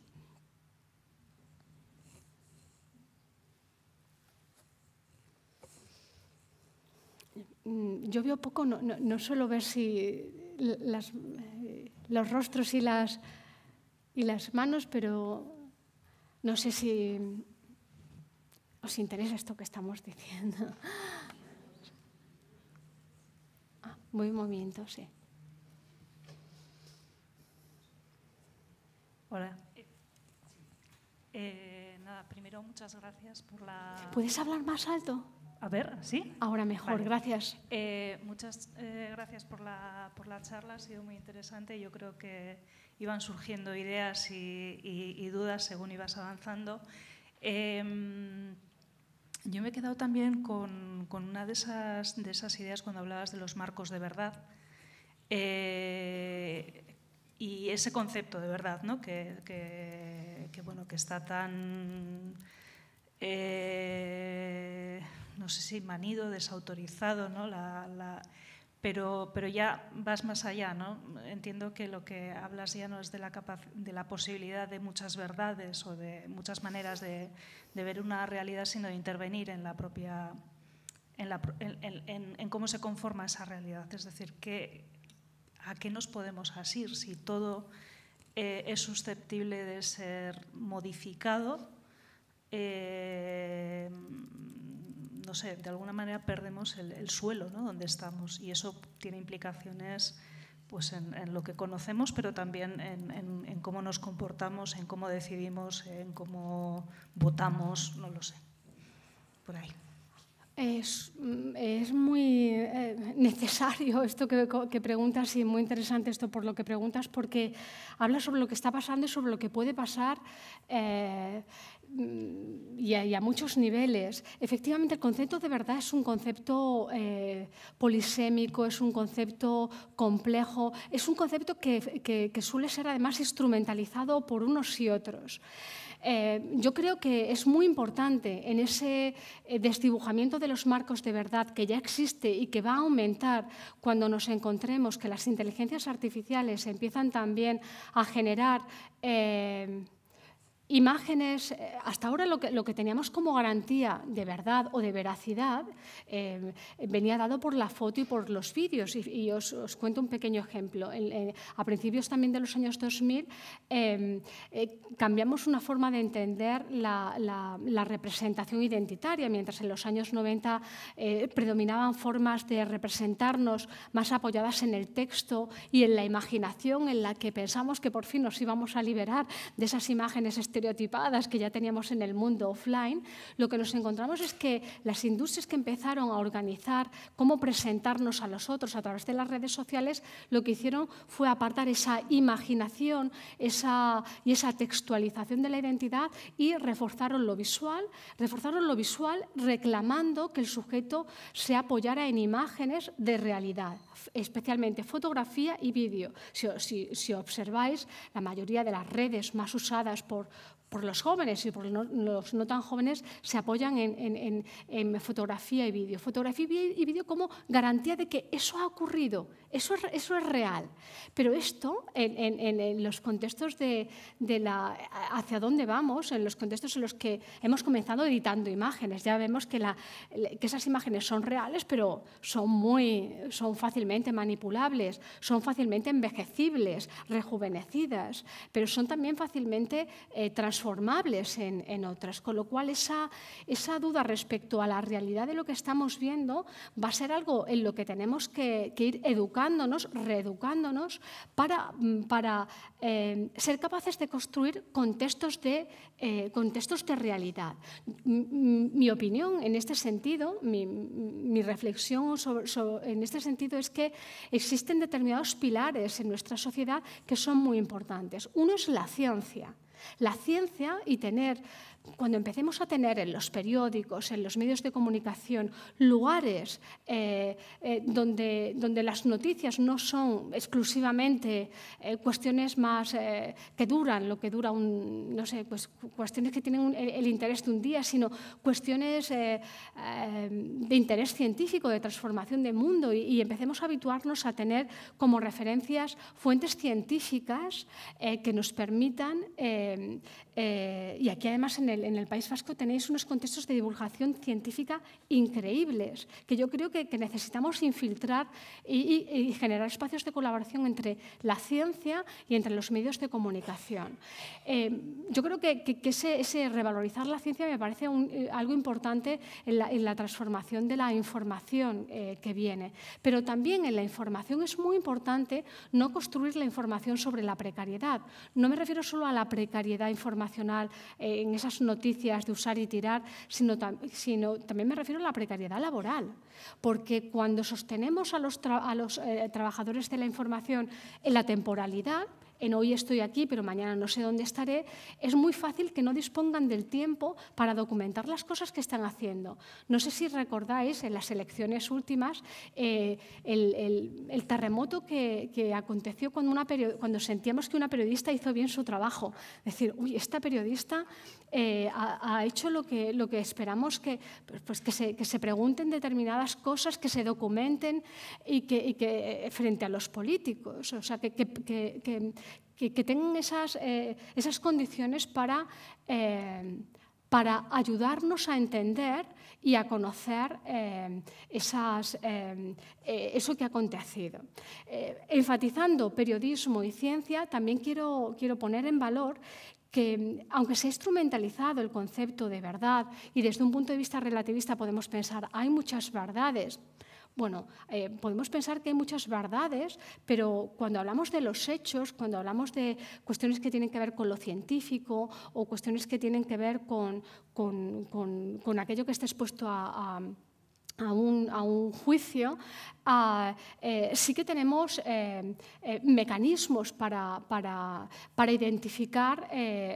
lo que ha acontecido, para diferenciar esas, esas verdades de, de, esas, de esa creación de impresión de verdad. Eso que llamamos, o que muchos llaman posverdad, es la creación de una imagen de verdad. Uy, esto parece verdad porque suena como muy convincente, ¿no? que, que, que realmente eh, es relativamente fácil identificarlo porque suele surgir en, en, contextos masivos y en contextos donde parece que al haber muchas personas eh, implicadas en determinados grupos, pensamos que, esa, que, esa, eh, que, esos números altos son garantía de diversidad, cuando lo que está aconteciendo cada vez más en esos contextos, redes sociales, es que eh, bajo esos números de muchas personas que están en mi red social son, son números que hablan de homogeneidad. Quienes están en una misma red social tienden o tendemos a parecernos llamativamente. Seguro que en cada una de nuestras redes predomina predominan determinados enfoques y, y, y, no los que disienten, porque los que disienten solemos bloquearlos. Esto a mí me preocupa muchísimo porque hay un sector de la población, especialmente los más jóvenes, que acceden a la información no ya a través de medios de, de comunicación, medios de comunicación que tienen la gran responsabilidad de, de, de acreditar lo que están haciendo. En las redes, sin embargo, todo esto se funde y nunca podemos dar a las redes la, la, digamos, el, el, el, el papel, la responsabilidad de ser los que acogen, eh, los acogedores de, esas verdades, porque, eh, porque en esa homogeneidad que, que tienen, tienden a eh, retroalimentarse y a reforzar lo, lo que es muy visto o lo que es dicho con la, con la, voz, eh, con la voz más alta. A mí me parece también que para que una herramienta que es también eh, que va a ser importante en el futuro para enfrentarnos a este mundo complejo viene necesariamente de la cultura y cuando hablo de la cultura hablo del papel que tiene en la cultura eh, el arte, el pensamiento crítico, la, generación de, de, de, colectividad crítica, porque también un reto que, encontramos en la cultura eh, es el de no apropiarse de una verdad u otra verdad sino el de hacer pensativas las formas en las que distintas culturas y distintos grupos crean nociones de verdad. Es decir, lo que hacen las propuestas culturales y artísticas más interesantes, a mi modo de ver, no es decir esto que yo digo es verdadero, esto que yo digo es falso, sino que crean contextos en los que nos ayudan a hacer pensativas las formas en las que se crean verdad. Y cuando ves cómo se va creando, piensas, oye, esto es una creación, esto es, una, eh, es, una, mm, eh, es, algo que parece verdad, pero que ha sido creado y que por tanto ha sido manipulado. Este tipo de recursos críticos que, son, que existen y que son necesarios son los que en cultura eh, tenemos que saber utilizar, pero también en educación, por supuesto. En educación, eh, eh, empezar a, generar estos, estos espacios para, para, para crear otras formas de, vivir en las que el mundo sea vivible y en las que tengamos un, mayor poder de, emancipación y también un, mayor poder en relación a, enfrentarnos a esos contextos sin que sea todo eh, incierto, porque el riesgo de, de esa maraña de no saber identificar eh, dónde está lo, que se apoya en, un conocimiento científico y, por tanto, contrastado, que podríamos identificar con las ideas más cercanas a esa verdad que creo que todos confirmaríamos, eh, eh, ese contexto, que, ese contexto se, esa maraña se, se, ve dificultada por, por el pesimismo de, como todo es confuso, pues no creo nada y caigo en el nihilismo, de, la resignación, que es en el fondo el que mejor viene a, contextos conservadores que reiteran lo mismo, que reiteran el bucle de lo siempre igual. Por tanto, bueno, esto es más que una respuesta, es una reflexión, disculpa, ¿no? pero creo que, sí que es, posible y, tenemos, y, es uno de los retos que nos encontramos en relación a, crear esos espacios de... Eh, de construcción de marcos de... si, nos resulta incluso incómodo el, término marcos de verdad, yo a veces empleo el de marcos de fantasía. Hablando de marcos de fantasía hablamos de lo mismo, de marcos en los que tengamos claro qué es lo que estamos viendo ahí, si lo que estamos viendo es ficción o si lo que estamos viendo es algo que está contrastado y que está acreditado.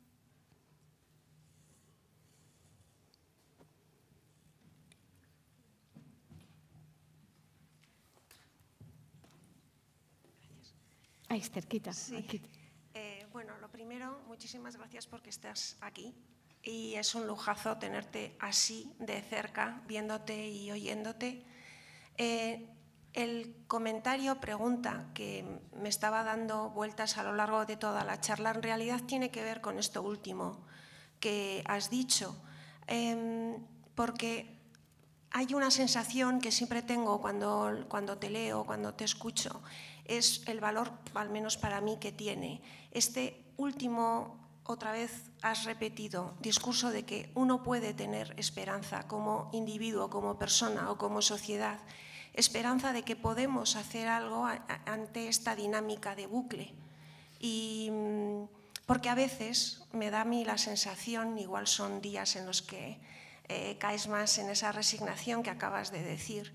eh, de que es complicado. Es, complicado para el ciudadano normal de a pie, para quien tenga responsabilidades igual en la docencia, en fin, formarte o pensar cómo formar a eh, personas, ciudadanos y sociedades que sepan posicionarse ante estas dinámicas de bucle y ante este Internet que hace de nosotros unos perfiles rápidos y que eh, nos van condicionando en nuestras búsquedas o en lo que vamos en lo que vamos encontrando. Entonces, mm, no sé un poco de qué eh, manera plantearnos estas formas de eh, poder contrarrestar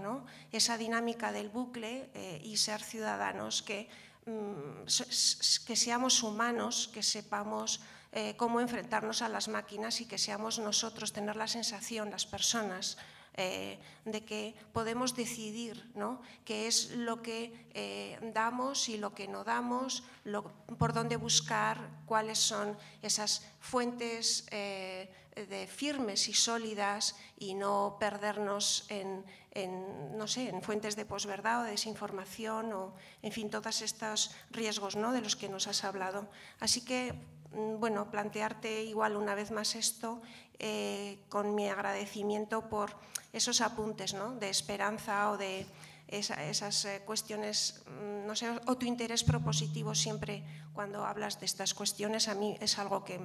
me preocupa y algunos días más que otros. Gracias. Te, agradezco muchísimo esa eh, visibilización de la, de la, esperanza como algo importante, porque la esperanza además tiene ese componente de afecto positivo y propositivo.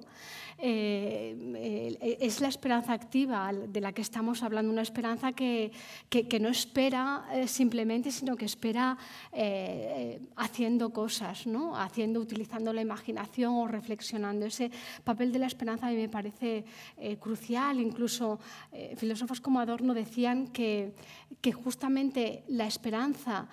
frente a lo siempre igual está en el desvío. El desvío es una metáfora pequeñita, pero es una metáfora mm, grandiosa, porque el desvío es lo que nos permite romper algo que siempre hacemos de la misma forma y que de pronto mm, nos decimos, voy a intentar verlo de otra manera o voy a intentar hacerlo de otra manera. Empatizo, eh, no, te imaginas cuánto con esta, con esta sensación, a veces agridulce, que tenemos quienes, eh, nos dedicamos al mundo intelectual, cultural, académico, especialmente cuando trabajamos con otros, cuando trabajamos con estudiantes, con investigadores y cuando vemos, eh, cuando vemos que esa presión que sienten hoy en día y no solo jóvenes, yo creo que muchísimas personas de la sociedad, esa presión que sienten eh, ante eh, mundos precarios en los que no pueden emanciparse, tener vivienda, etcétera, etcétera, mundos en guerra, y mundos en los que a nivel material el planeta ni siquiera está garantizado, es decir, esos distintos estratos que uno eh, tiende a, pensar eh, y eh, para, recrear cuál es la base sobre la que voy a construir mi vida y, que está generando la, autoconciencia sobre, sobre estas crisis, estas enfermedades, estos problemas, estos conflictos que tenemos, hace que muchas personas estén teniendo una grandísima ansiedad de época, ansiedad climática, ansiedad laboral, ansiedad vital, está habiendo muchísima angustia. De hecho, en el, en el grupo, en la Comisión de Trabajo sobre Precariedad y Salud Mental, ha, sido doloroso comprobar cómo muchísimas personas ah, muy jóvenes, sobre todo muy jóvenes y también jóvenes ah, formados, jóvenes eh, con expectativas ah, totalmente derrumbados por, por, por, haber hecho lo que se supone tenían que haber hecho, eh, porque la sociedad les decía que tenían que estudiar, trabajar, y de pronto se ven en situaciones como de bloqueo. Quiero decir con esto que, que, les, que vivimos un escenario donde, donde ese dolor que sentimos y ese dolor que, sabemos están sintiendo muchas personas es un dolor que tiene que ser eh, comprendido y que tiene que ser que tenemos que, tratar sobre eh, tenemos que tratar sobre, sobre ello. Eh, conscientes de que debierais desconfiar de mí si yo diera una serie de consignas, porque las consignas pueden valer a modo de, frases a las que nos agarramos y, yo creo que, estas transformaciones de las que hablamos tienen que ver con, cómo colectivamente y en cómo en los distintos contextos somos capaces de crear estrategias para enfrentar, eh, para enfrentar de una manera esperanzadora y propositiva lo que estamos, lo que estamos viviendo. Y pienso que cuando menos, en cualquiera de esas estrategias posibles que, vayamos a imaginar, recuperar la colectividad, lo comunitario, el lazo comunitario, es algo importantísimo, porque ya hay una presión grande para, esa desarticulación, para esa desarticulación que convierte a trabajadores en rivales y que también tiende a eh, eh, a hacer que cada uno esté pensando en lo suyo y se dificulte la sindicación cuando hablamos de trabajo o la sororidad cuando hablamos de feminismo o que se dificulte la organización de, las personas para, eh, para transformar eh, esto que Simone Weil decía también de una manera muy interesante. Simone Weil decía que ejercía determinada presión sobre personas que se sienten oprimidas eh, esa presión deja de convertirse, deja de generar rebeldía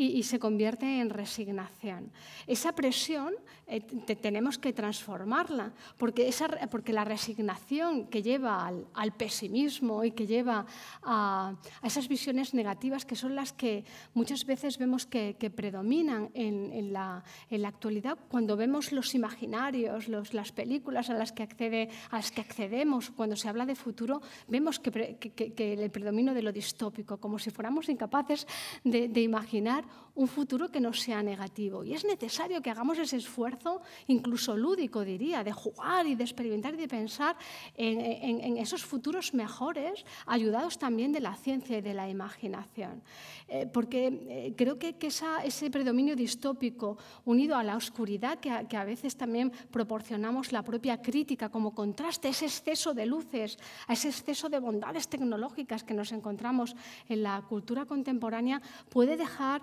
Em, no suficientemente tratado ese lugar para la esperanza y ese lugar para esas otras lecturas que nos impliquen de, manera activa. Y en esas lecturas que nos implican de manera activa, eh, insisto, el vernos, el dejar de mirar al frente y el mirar los lados e identificar a otras personas y, por tanto, identificar esos lazos comunitarios, a mí me parece importante porque es de ahí de donde nace la transformación simbólica, nace del contagio, del contagio en algo que, eh, que, surge de una primera toma de conciencia que se va contagiando y extendiendo a otros. Y otro elemento que me gustaría resaltar es el de la imaginación. La imaginación... Eh, no está suficientemente, yo creo que, valorada en, tanto en nuestro pensamiento como en esas alternativas. Parece que damos la,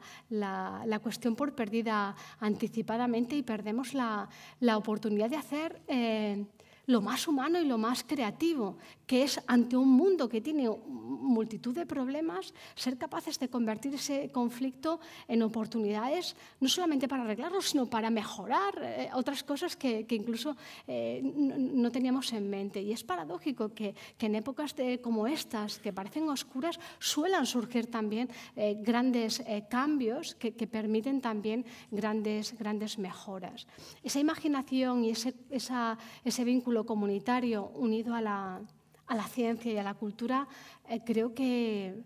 eh, que siempre van a sumar. incluso van a sumar porque incluso si, si lo que vamos ideando no nos convence,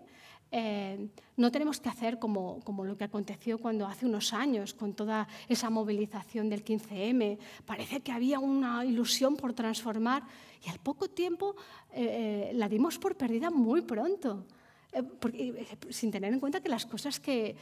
transforman, verdaderamente transformadoras, requieren tiempo. Y yo creo que de eso también tenemos que, aprender, así como de los fracasos cotidianos, que son de, los que más tenemos que aprender para, ah, para, convertirlos en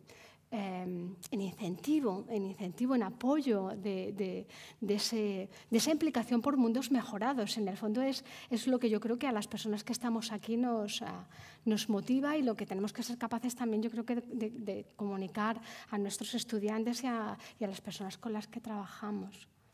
No te he contestado, he reflexionado contigo. Vale, bueno, em, buenos días, muchas gracias, Remedios. La verdad es que es un lujazo. Eh, ¿Quién está hablando está? Sí, estoy. Aquí, vale. Sí, que es un lujazo tenerte entre nosotros y, como ha dicho la compañera, tenerte aquí de frente, poder escucharte y poder em, compartir espacios de pensamiento crítico, pensamiento con criterio y poder, yo creo que esto es una forma, indudablemente, de esperanza, de poder, de poder cuestionar ese bucle invisible del que hablas. Em, bueno, mm, me ha parecido que encima eres muy propositiva, que tienes eh, muchas ganas eso de transformar la sociedad con este tipo de pensamiento y me hace reflexionar a mí en torno a la conciencia de vulnerabilidad, que muchas veces se diluye también en este bucle invisible. Como tú has dicho, no somos conscientes del agotamiento que nos produce muchas veces las, las tecnologías y me parece importante ¿no? también como como una forma de salir de esa resignación que otra vez eh, a veces pues no nos deja avanzar. Entonces, no sé, a ver qué te parece mm, esa expansión de la conciencia de vulnerabilidad que muchas veces también en este bucle invisible queda diluida. No sé, me gustaría que compartir un poquito tu reflexión en torno al tema. Gracias. Gracias, muchas gracias por tus comentarios y gracias también a las personas que, habéis participado antes por los comentarios. Y, qué gusto que, además eh, que, es, como una selección de, preguntas súper interesantes con las que dan ganas de, profundizar. el, tema de la vulnerabilidad, que yo vinculo también con el tema de la fragilidad, que procuro también tratar en, mi obra Frágiles, eh, ha sido un tema controvertido que durante un tiempo eh, a muchas personas les... les em, Em, les generaba una, sensación negativa por estar poniendo sobre la mesa algo que se consideraba que era negativo, como si no pudiéramos hablar de aquellos, de aquellos afectos, de aquellas sensaciones, de aquellas que nos, eh, que nos resultan perturbadoras. Em, yo creo que, poner sobre la mesa y revalorizar la importancia que tiene la vulnerabilidad, para mí la vulnerabilidad tiene, tiene mucho que ver con, esa, con la fragilidad social y la, o, con la... Eh, con, ese reconocimiento de, con ese reconocimiento eh, eh, de insuficiencia, de que nos necesitamos colectiva y socialmente, y la fragilidad tiene, tiene un vínculo más, más, cercano, yo al menos es la lectura que hago con, con, con, el cuerpo, con el cuerpo agotado, con el cuerpo hiperproductivo, pero me parece que están muy entremezcladas. a mí me parece que, que hay una diferencia, que, que, estas palabras pueden funcionarnos también como punto de entrada frente a ese discurso tecnocapitalista y patriarcal que yo he estado criticando, porque justamente este, este, discurso del éxito, de la ganancia, es también el discurso de lo bélico, es decir, el discurso que enfrenta el conflicto desde, ah, si hay alguien que me hace daño, eh, se genera un, conflicto, ¿no? una, una, guerra. ¿no? Y es algo que hemos visto también en la pandemia. En la pandemia era muy habitual entender eh, eh, lo que estábamos viviendo como si fuera un conflicto bélico. Las palabras que se utilizaban, no sé si las recordáis, pero casi todas tenían que ver con algo bélico. Eh, lucha contra, vamos a vencerlo, terminemos con... Era, eran expresiones muy bélicas. A mí me parece que, que frente a ese predominio del lenguaje bélico que repite lo mismo, que repite ese dominio de unos pocos sobre muchos y que propone resolver los problemas con el conflicto, yo creo que cuando menos nos merecemos la tentativa de probar otras formas de hacer las cosas como humanos. Y en esas otras formas de hacer las cosas como humanos es cuando muchas personas, yo creo que muy, eh, muy afectadas por, el, por, lo que está pasando a nivel, a nivel planetario, a nivel climático, lo que está pasando a nivel social, eh, proponen los cuidados como centro. Y ha sido también una demostración de la pandemia en la que hemos visto que eh, la mayor parte de, las veces en, la vida no podemos terminar con lo que nos daña. Y esto quienes cuidan, las mujeres y hombres que cuidáis a otros, a, abuelos, a niños, eh, quienes cuidan o quienes cuidamos sabemos que la mayoría de las veces tenemos que vivir con lo que nos daña. O sea, porque las enfermedades no, no, desaparecen, están ahí. Vivir con lo que nos daña, que es lo que hemos terminado haciendo con, la, en, la pandemia. Hemos aprendido a vivir con lo que nos y hemos creado, pues, la ciencia nos ha ayudado y, eh, eh, hemos conseguido eh, para mejorar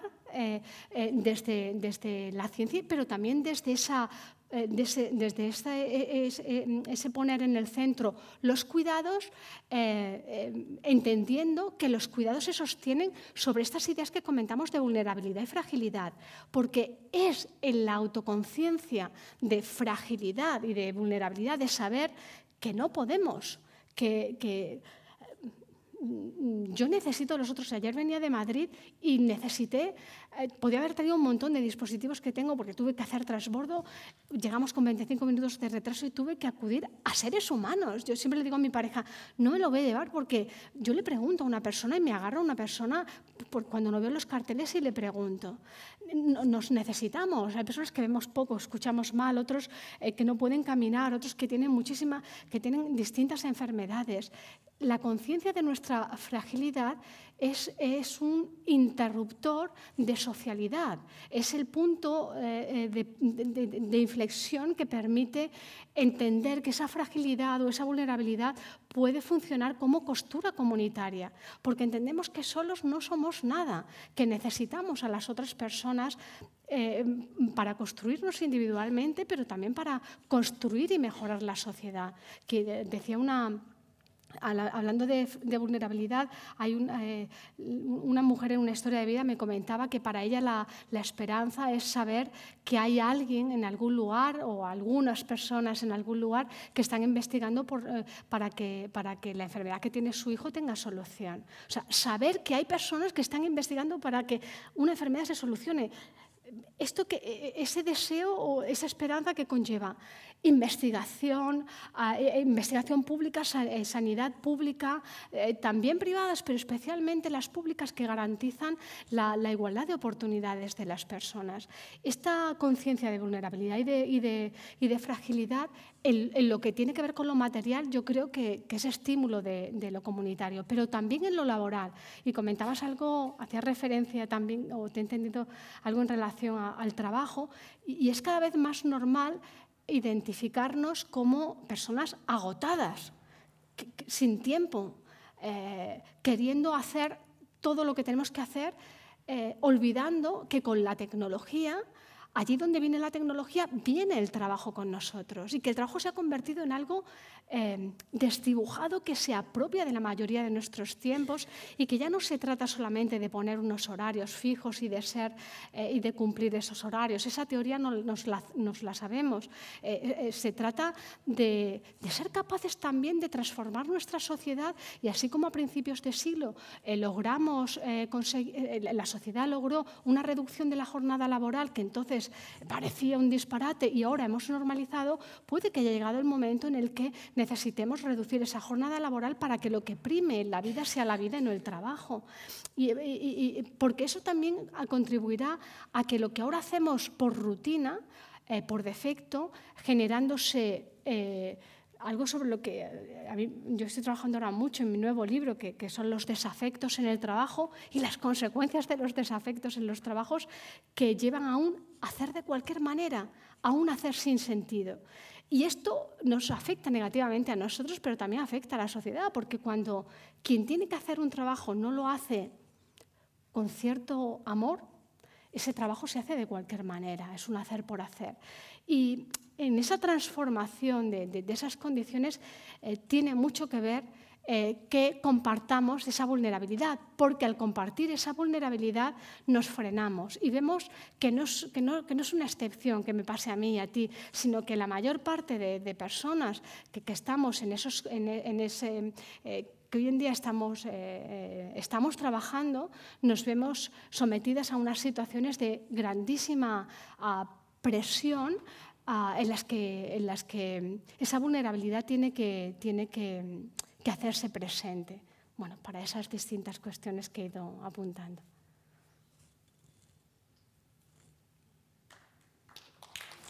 Bueno.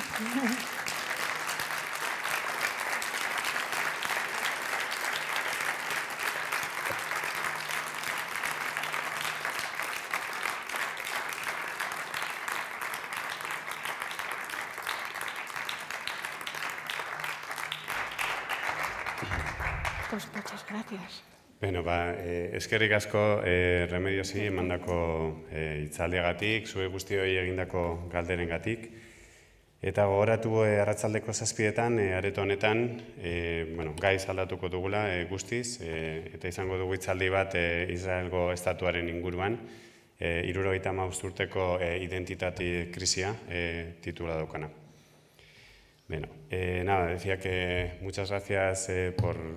bueno, por, la, por la conferencia de remedios, por supuesto, y por todas las preguntas que, que le habéis lanzado también. Eh, simplemente emplazaros esta tarde a las 7 de la tarde eh, a un tema, eh, yo diría que bastante, bastante diferente, pero igual bastante conectado también, eh, que se titula 75 años del Estado de Israel, eh, crisis de identidad, que correrá eh, a cargo de la periodista Sara Gómez Arnos. Muchas gracias. A Gracias.